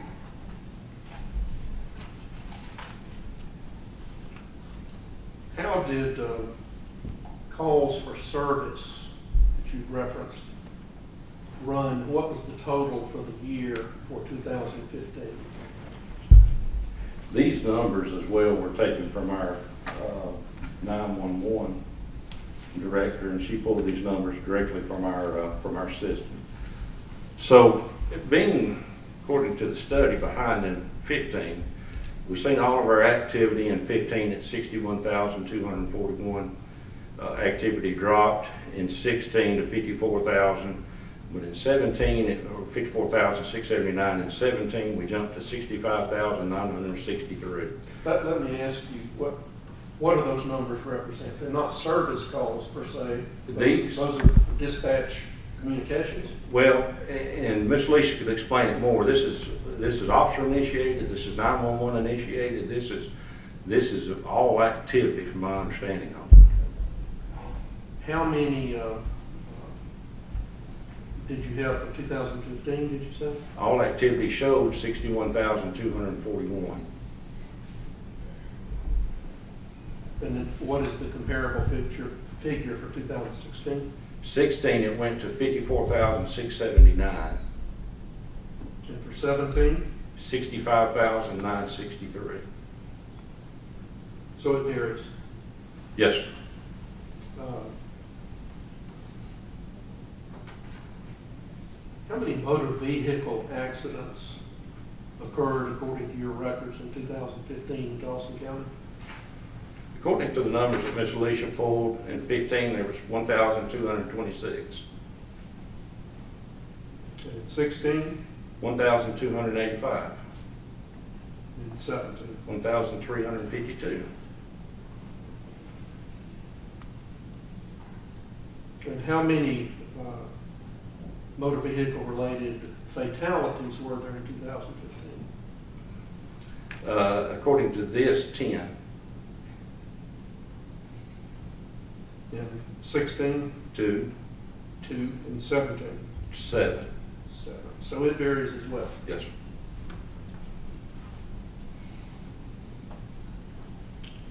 You referred to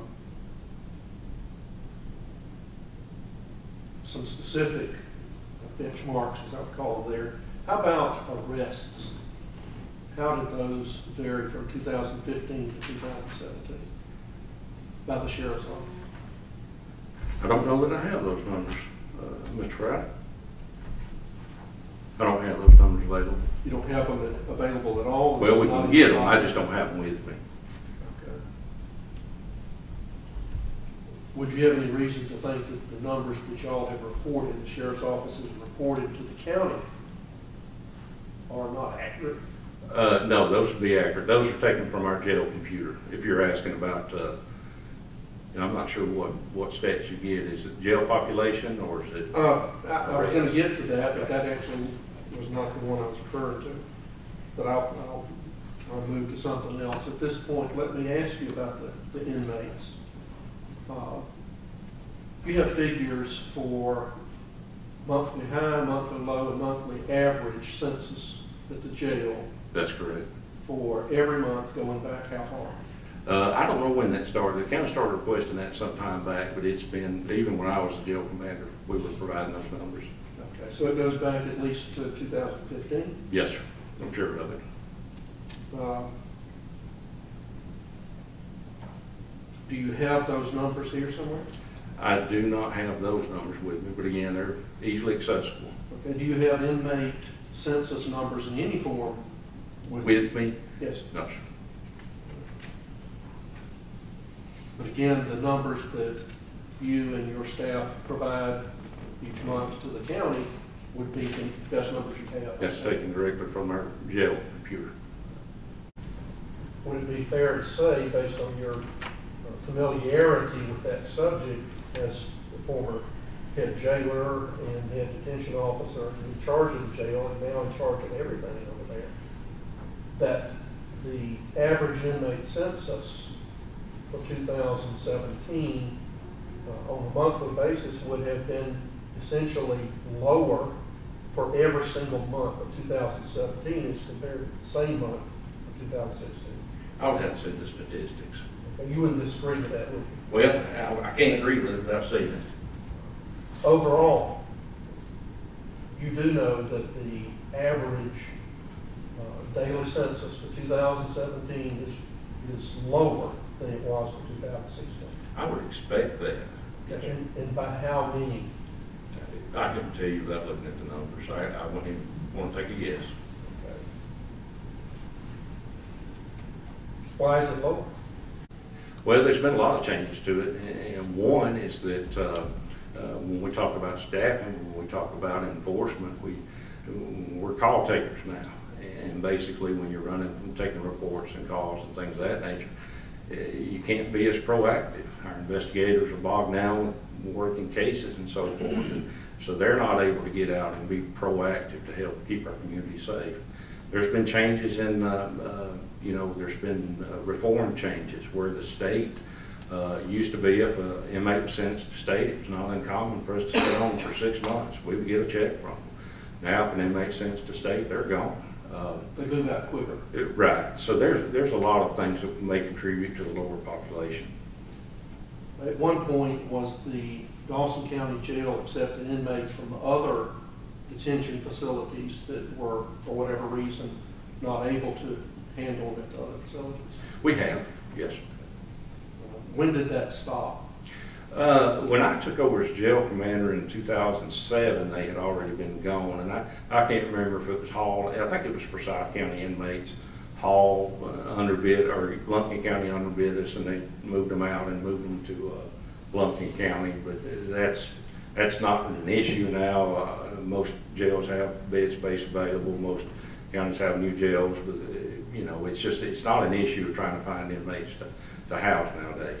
Uh, You know, that was, that was some contracted things. Now, we've done favors for other counties as well as they've done for us, Uh, but that's just uh, taking care of each other. You say you were uh, underbid in the sense of you charged maybe a a less competitive rate for housing inmates from other counties. That's correct. What do you charge now when you house an inmate from another county? Well, we don't. Uh, Again, we just don't have a need to. You you uh, don't, don't house inmates from other counties now, or you don't charge for it when you do? We don't, we don't. Now, what I mean by that, I'm sorry, You don't what? uh, we don't charge for them. Right. And to give you an example, Hall County asked us to house about 12 inmates for them when they was going through some restructuring, things of that nature, and we did.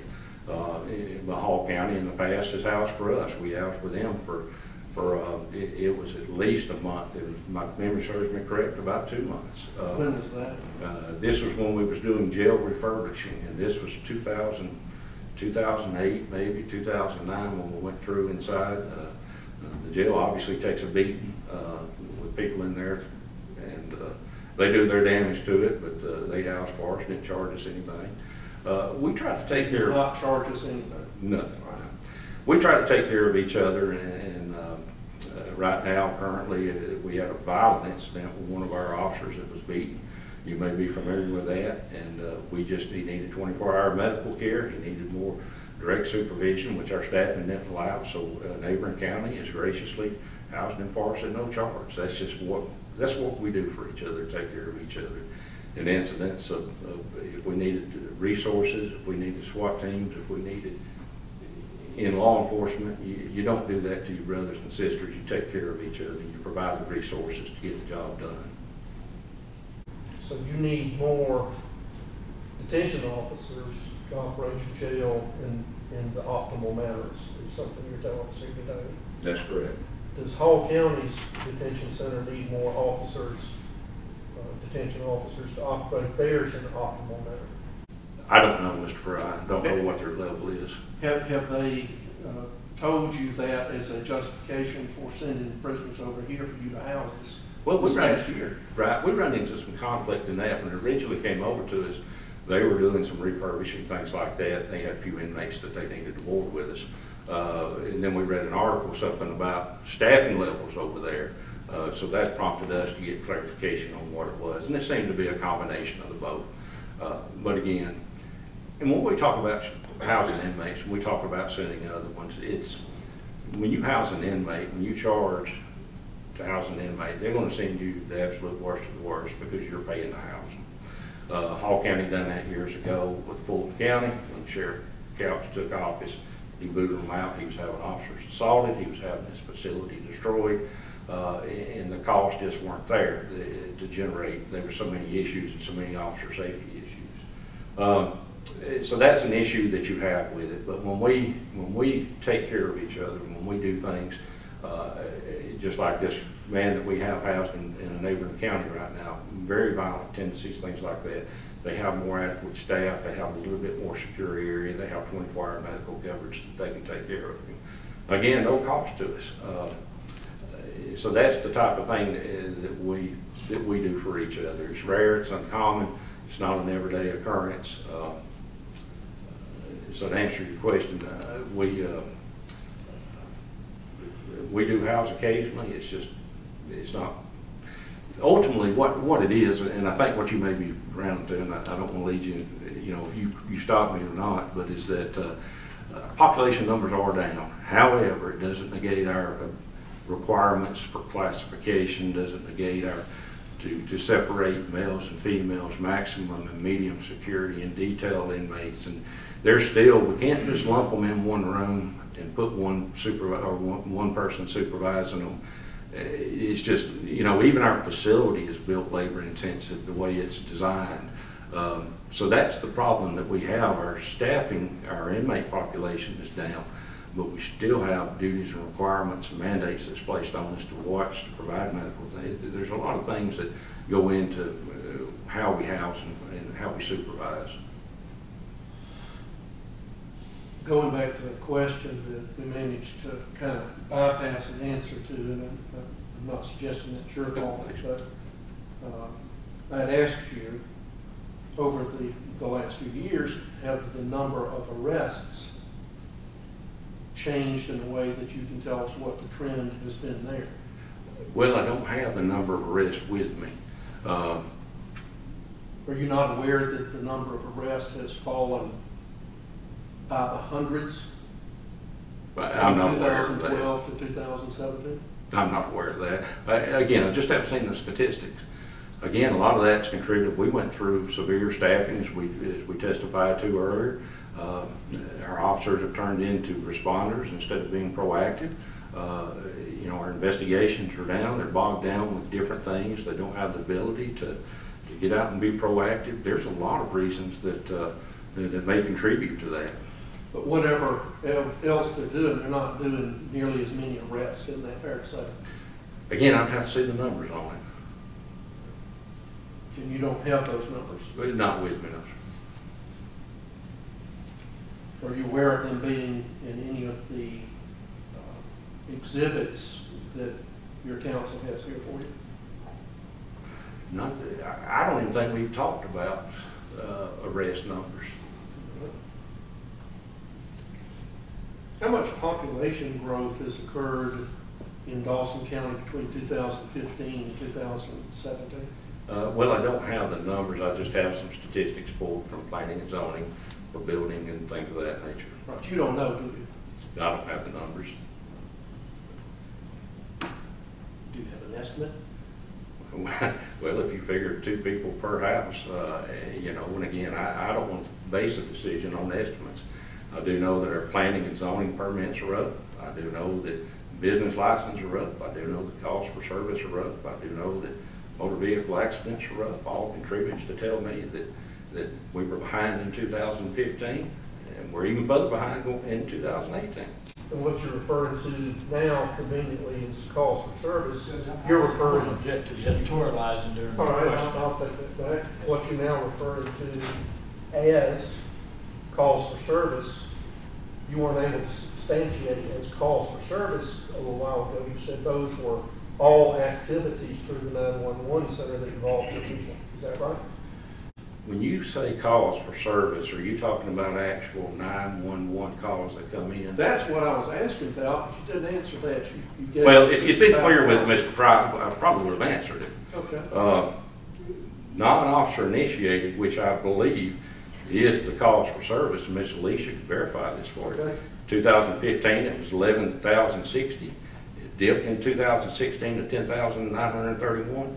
It increased in 17 to 11,494. All right, thank you. Two or three people to a house, is that what you're saying, Mayor? I- I- I'm guessing. Okay, don't want you to guess. Well, I don't have the Okay, numbers. let, let me ask it a different way, and maybe you won't have to guess. Do you know how many of those residences that had been permitted or approved in some fashion have actually been built? I don't have that number. You have no idea, do you? I can ride around and show you developments underway currently, houses being built, apartments and complexes being built, but I don't have the number put on. it.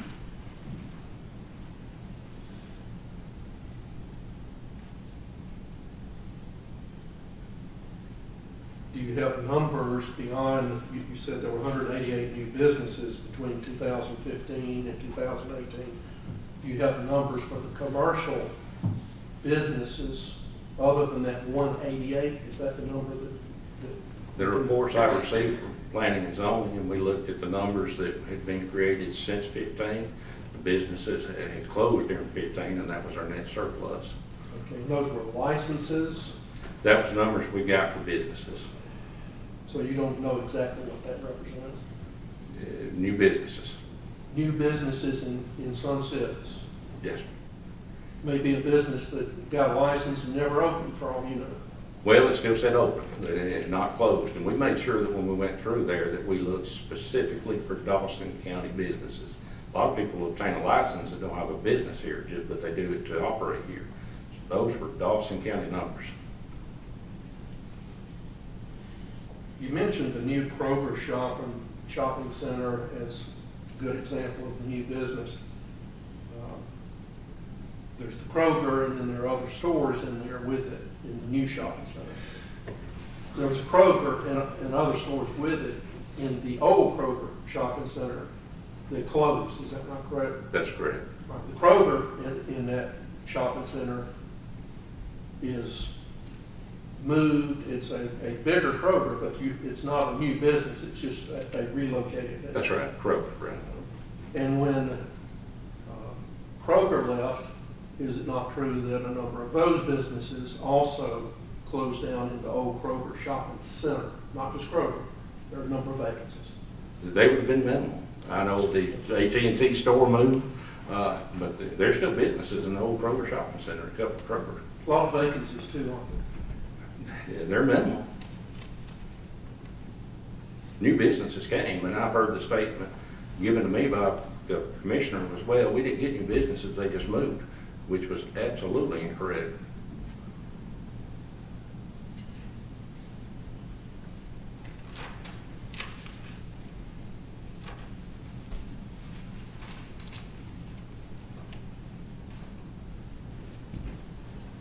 when it comes to paying your deputies and staff, uh, you would agree, would you not, that you can reassign people to different duties? Correct? Correct, You can reassign them to a different job title if you wanted to. correct. You can change their rate of pay up or down if you felt it was appropriate. If funds are there. Uh, Well, and that, that's a good point. Subject to the overall funds available in your budget, and I'm talking about funds that aren't restricted, such as the SPLOST numbers. Essentially, the sheriff has the discretion and authority to decide how many people he wants, what he wants them to do, in the terms of their employment, including pay. Is that correct? All within the confines of how much money we have. Right, you can't, you can't do more than you have money for, Correct. but beyond that, you can arrange them and assign them as you deem appropriate. That's correct. When, at the end of two thousand sixteen, you had a number of folks who had, um, worked and did not use the leave that they had accrued, and then lost the leave according to county policy, as a sheriff, uh, it, it took a while, but you informed the, the county that your decision as sheriff was to grant those people that leave rather than have it lapse. Is that correct? Absolutely. But you still have not paid them for that. Uh, At the end of 2016, how much was left in the sheriff's overall budget, general fund budget, let me say that, that, that lapsed into the fund balance? This is, this, it seemed like it was a hundred and somewhat thousand dollars that it, uh, went back to the general fund. How much was needed to pay for the lost leave time for those people that you had requested pay for? I think, Mr. Price, about forty thousand. So over the course of this past year, 2017, notwithstanding all the discussions and notwithstanding your decision, you have not actually paid them for that. That's correct. At the end of 2017, uh, you had told the commission that you anticipated you would have several hundred thousand dollars left over. And after being urged to go ahead and address some of your 2018 needs in 2017, so as to avoid another lapse of funds, you did so, is that correct? I did purchase, yes. Right. And with the intent of that, it's, we, none of us won't be here. But it was the intent that we could work together, preserve the money, and come to a, an agreement where we could staff the positions that we needed to be. However, as the year progressed on, we realized we weren't getting anywhere, so, uh, we were trying to get the equipment and the items that we needed to do. Uh, What, what things did you? Mr. Bass to be allowed to complete his answer. If you weren't finished, please go ahead. uh, I'm done.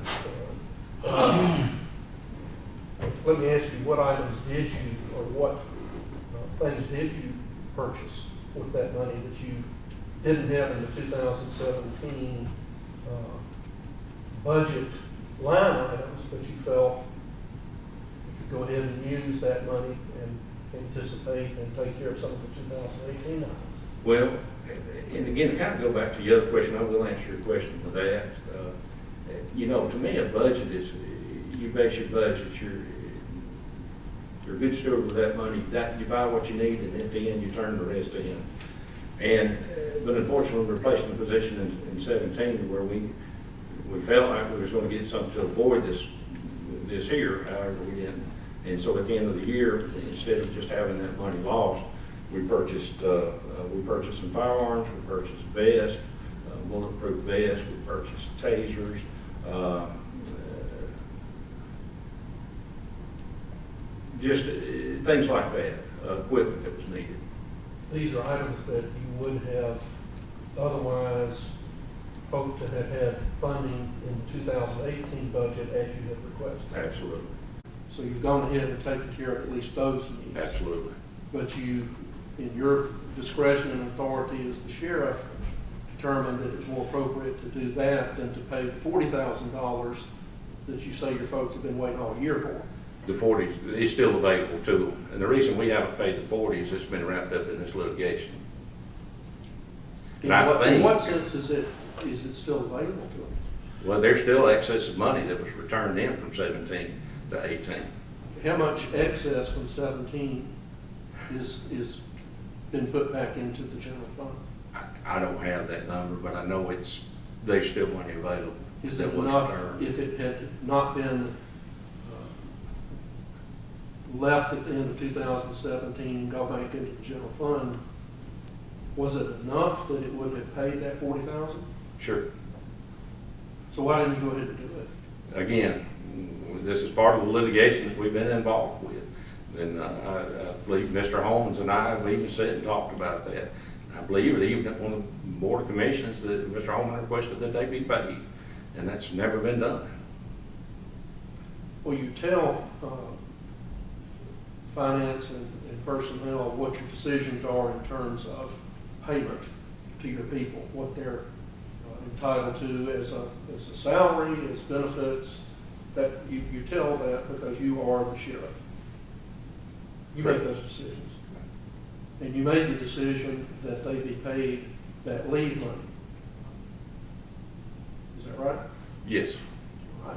Have you directed, as you directed so many other things to be paid, that that money be paid out of your available general fund money that was in your budget for two thousand seventeen?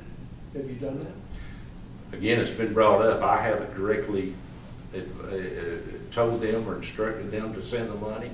I know it's been brought up during the board meetings, even Mr. Homans has mentioned it. Uh, We still agree that residual funds left in from the sixteen budget were sufficient to be able to pay them as well. So because you disagree with the accounting for the end of the year in two thousand sixteen, you've made a decision not to pay that forty thousand dollars that you feel and have decided is due to your people, even though you had the money in two thousand seventeen. Mr. Frey, I don't know what to tell you other than it's been brought up. Did I send pen, did I put pen to paper and say, pay our officers this forty-something thousand? No, sir, I haven't. But it has been brought up and it's been part of this lawsuit.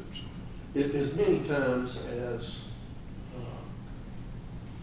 you've been back and forth through your staff and the county staff and finance and HR, and the upshot of it all has been that you have the authority to make those decisions, and they need simply to have you direct them what you want to do. Is that correct? Yes, And you're willing to do that? Uh, we can do that and get that part out of the way, yes. Yeah, and you're, oh, let me ask you this, just to solve a simple ongoing thing. Is uh, Ms. Evans authorized by you to move funds around within your uh, general fund budget under your authorization?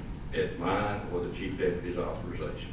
Yours or Greg Rowan's? That's correct. Right. Is there anything that you would like the finance department to know in terms of whether you have to sign off on those things personally or not? I do sign off on, well, myself or the chief deputy does sign off on all purchases. All right. How about uh, transfers from one line item to another within your, your existing budget? Again, we discuss with our budget manager, Sandra Evans. She comes to us with budget moves before they're made.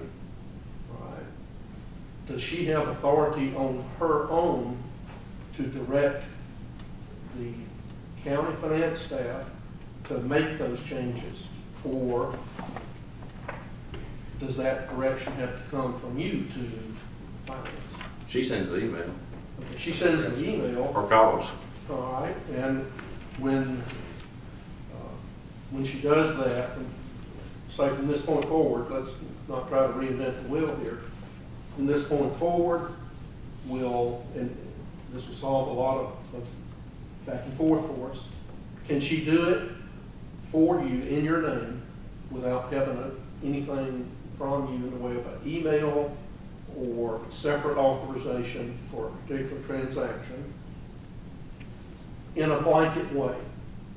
So that if she says to finance, transfer money in whatever amount from whatever category or line item to another, finance is to accept Ms. Evans' direction in that regard.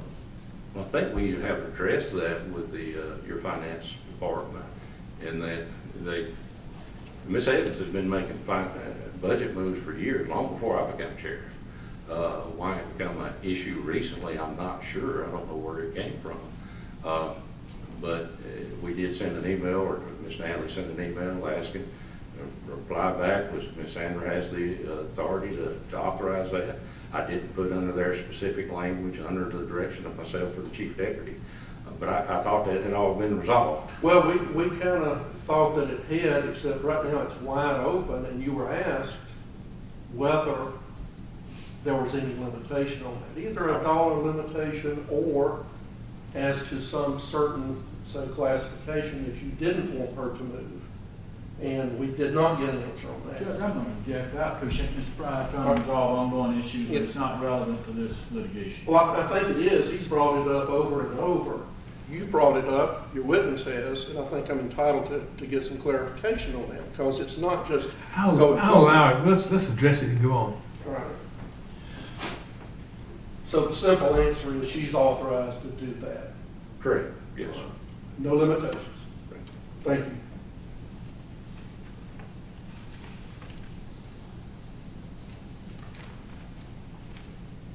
Please bear with me just a minute.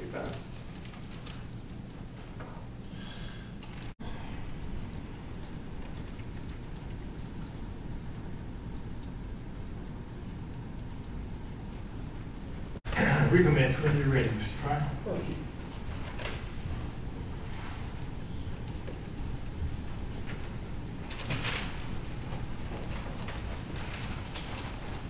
Let let me just hit a with the group anomalies. Did you return to the Board of Commissioners at some point in 2017? And I don't mean in association with Ashley for the 2018 budget, for 2017. Did you return to the board at some point or any point and ask them for extra positions or unfreezing anything for 2017? Not, we did initially in the sixteen budget going into seventeen, but after that, there was no discussion during seventeen for additional. How many sheriff's department employees were added in 2015 going into 2016? I don't mean hired, but allowed, approved. I don't And if it's, e- I- let me, let me ask that in a better way. If it's easier for you to answer it as in hired, I've I've got understanding of how many were hired, but you tell me what was the best way for you to answer that. Well, I- you know, I don't know. I've got some total employee numbers, uh, spanning back, and this was a county, it's in the budget book from Dawson County Human Resources. Uh, that's total numbers, but I don't know, why don't you tell us what those total numbers are for each year? from how far back? How, how far back was you? Uh, looks like two thousand six. Okay, good. from 2006 up to as current as you can get. Now, these are including civilian and officers. Uh, uh, In 2006, it shows 100. In 2007, 110. In 2008, 109. 2009, 109. 2010, 116. 2011, 109. 2012, 106. 2000 uh, 2012, 106. 2013, 108. 2014, 103. 2015, 105. So you don't have a number for 16? I- Not on this.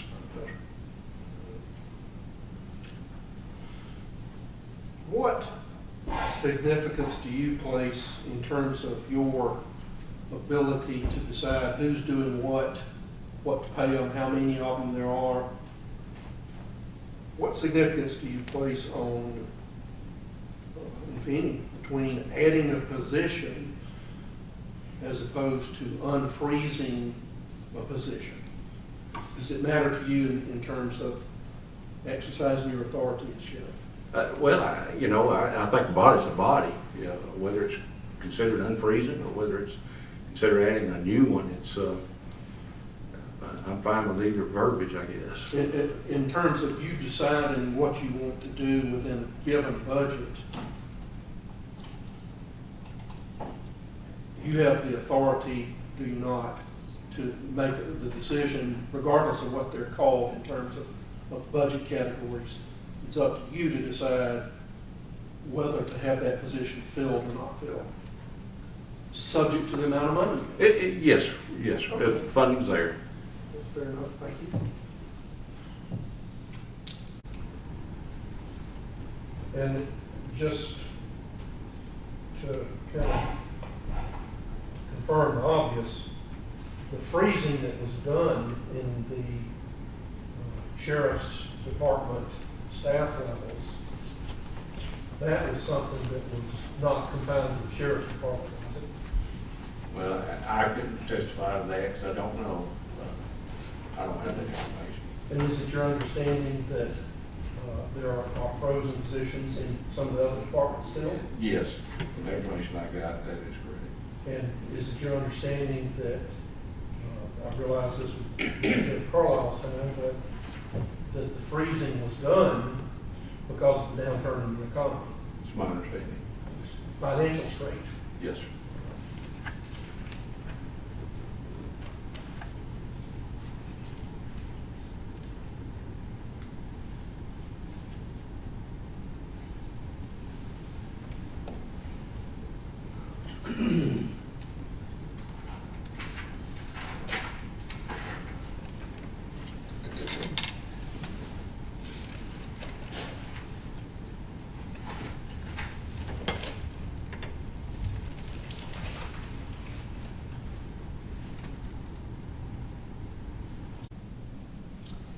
May have some follow-up depending on Mr.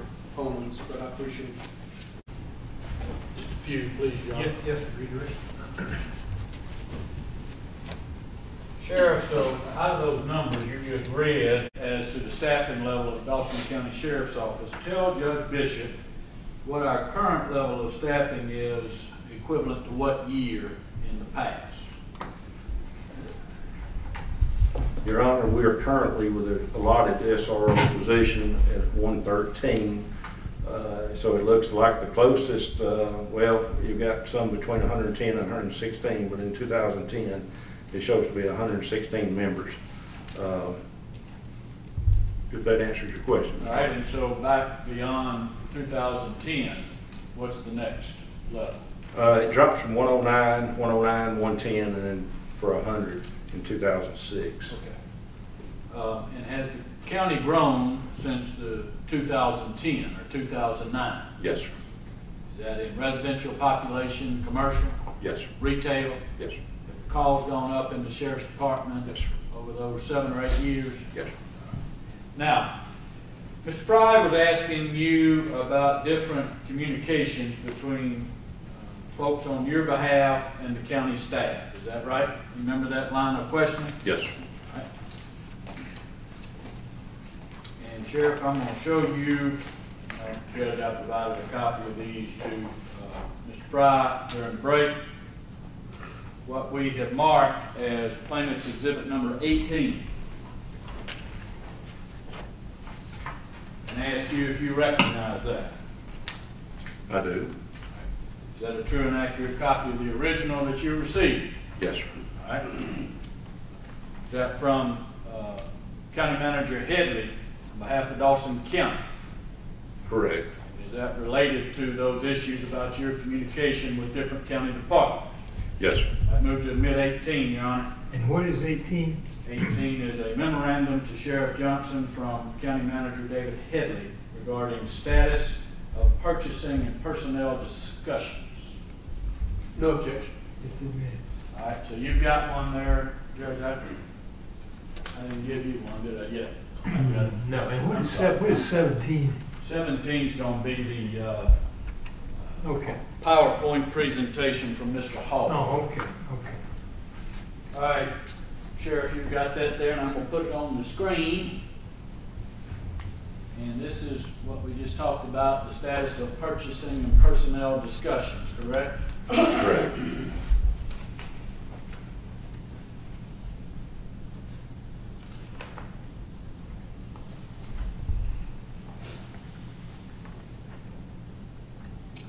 You'll see here at the bottom of the page where it says, "Our clarification as embodied in this letter is intended to protect you from unintentionally finding yourself in a situation where," and we go to the second page, having one foot in the policy door and one outside the threshold does not leave you or anyone else in jeopardy, right? Correct. And then the next paragraph talks about working together. Correct? Correct.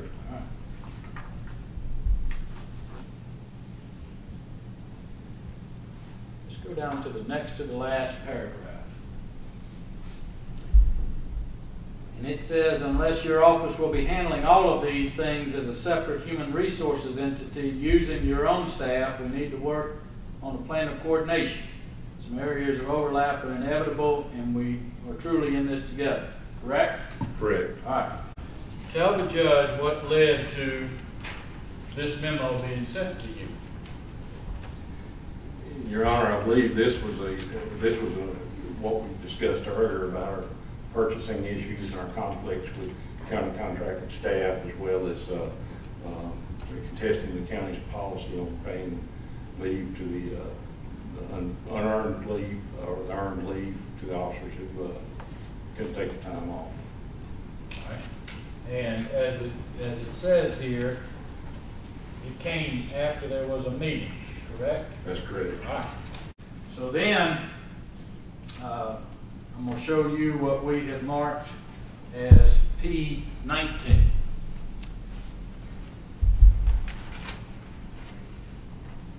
Do you recognize that? I do, yes, sir. Is that a true and accurate copy? It is.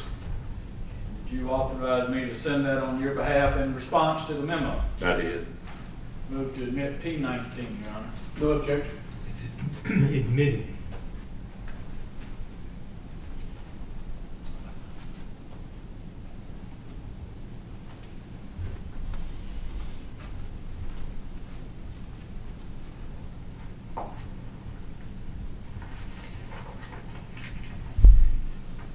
Now, if you'll come down to the paragraph of this memorandum that begins, the second pa- paragraph of your memorandum identifies why these issues continuously remain unresolved. See that? Yes, sir. Did you continue to have the same issues even after the meeting with uh, County Manager Headley and and Chairman Thurmond? Correct. and pointed out that the commissioners recognize what the Constitution requires, but that the staff does not honor that preemption. Is that correct? That's correct. So those circumstances continue? Correct. Okay. Now, at the bottom, you agreed that appropriate forms would be prepared to present to county staff to allow you to exercise the authority granted by law. That's correct. Can you tell the judge what forms you received in response to that request? We've received no forms, Your Honor. Did you receive any communication after we sent this reply, June twentieth of two thousand seventeen regarding those issues? Not that I remember, Ms. Homans. Alright. Now, you'll see on the top of the next page, page two, you reference that you know of no accounting or auditing issue involving the sheriff's office, but that if any such issue exists, then you're to be notified. Correct. Tell the judge what notice you received regarding any accounting or auditing issue. None.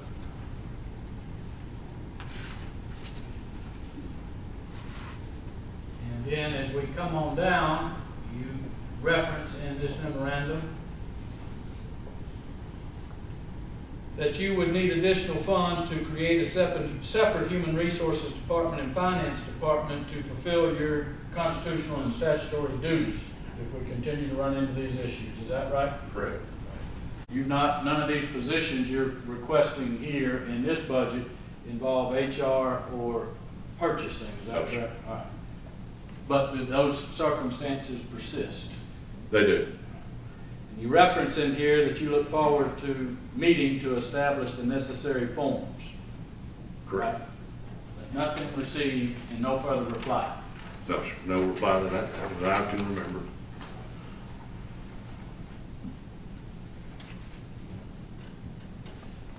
Thank you, Sheriff.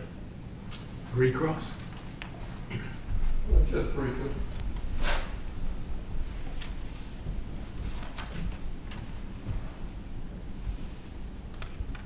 In the final paragraph on page one of P eighteen, Ms. Frey, is that, the- which one is P eighteen? eighteen is the uh, letter from Mr. Headley to you. Okay, yes, sir. June fifth.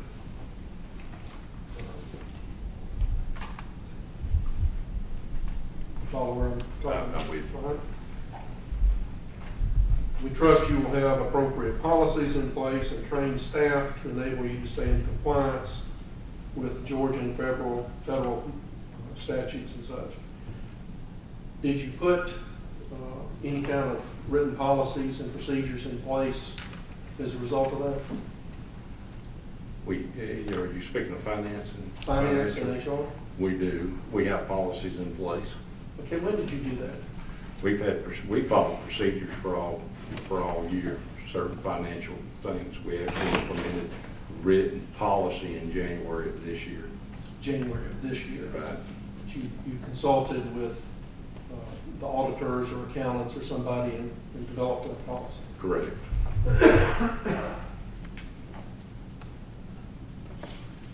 January of two thousand eighteen. Correct.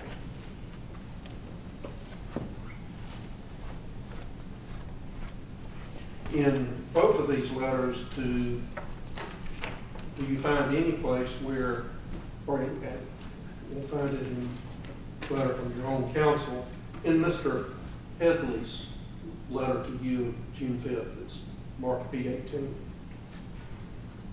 Do you find any indication that Mr. Headley or the staff was unwilling to recognize your authority to make decisions about purchasing, contracting, HR within your department?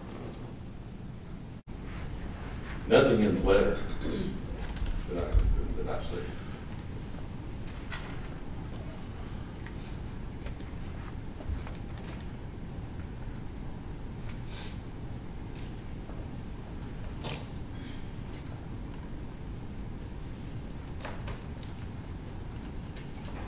Have both the sheriff's staff and the county staff continue to indicate their willingness to work together to come up with solutions to any communication or authorization problems concerning the finance, including purchasing, procurement, all, all the contracting.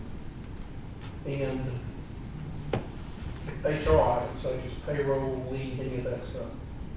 As far as, as you're aware, has not everybody indicated ongoing willingness to try to work that out? Well, we see a lot in written form, but we still encounter questions, uh, continued questions, why is this done, I need this done. Uh, Still applying policy in practice, however, not reflected in written. I'm not sure I understand, but We continue to have issues. we, we, we continue to have issues, but uh, is, is there not an ongoing dialogue and an effort to work out those issues? Uh, Well, it seems like we do. Uh, Ultimately, we come to some resolution with it.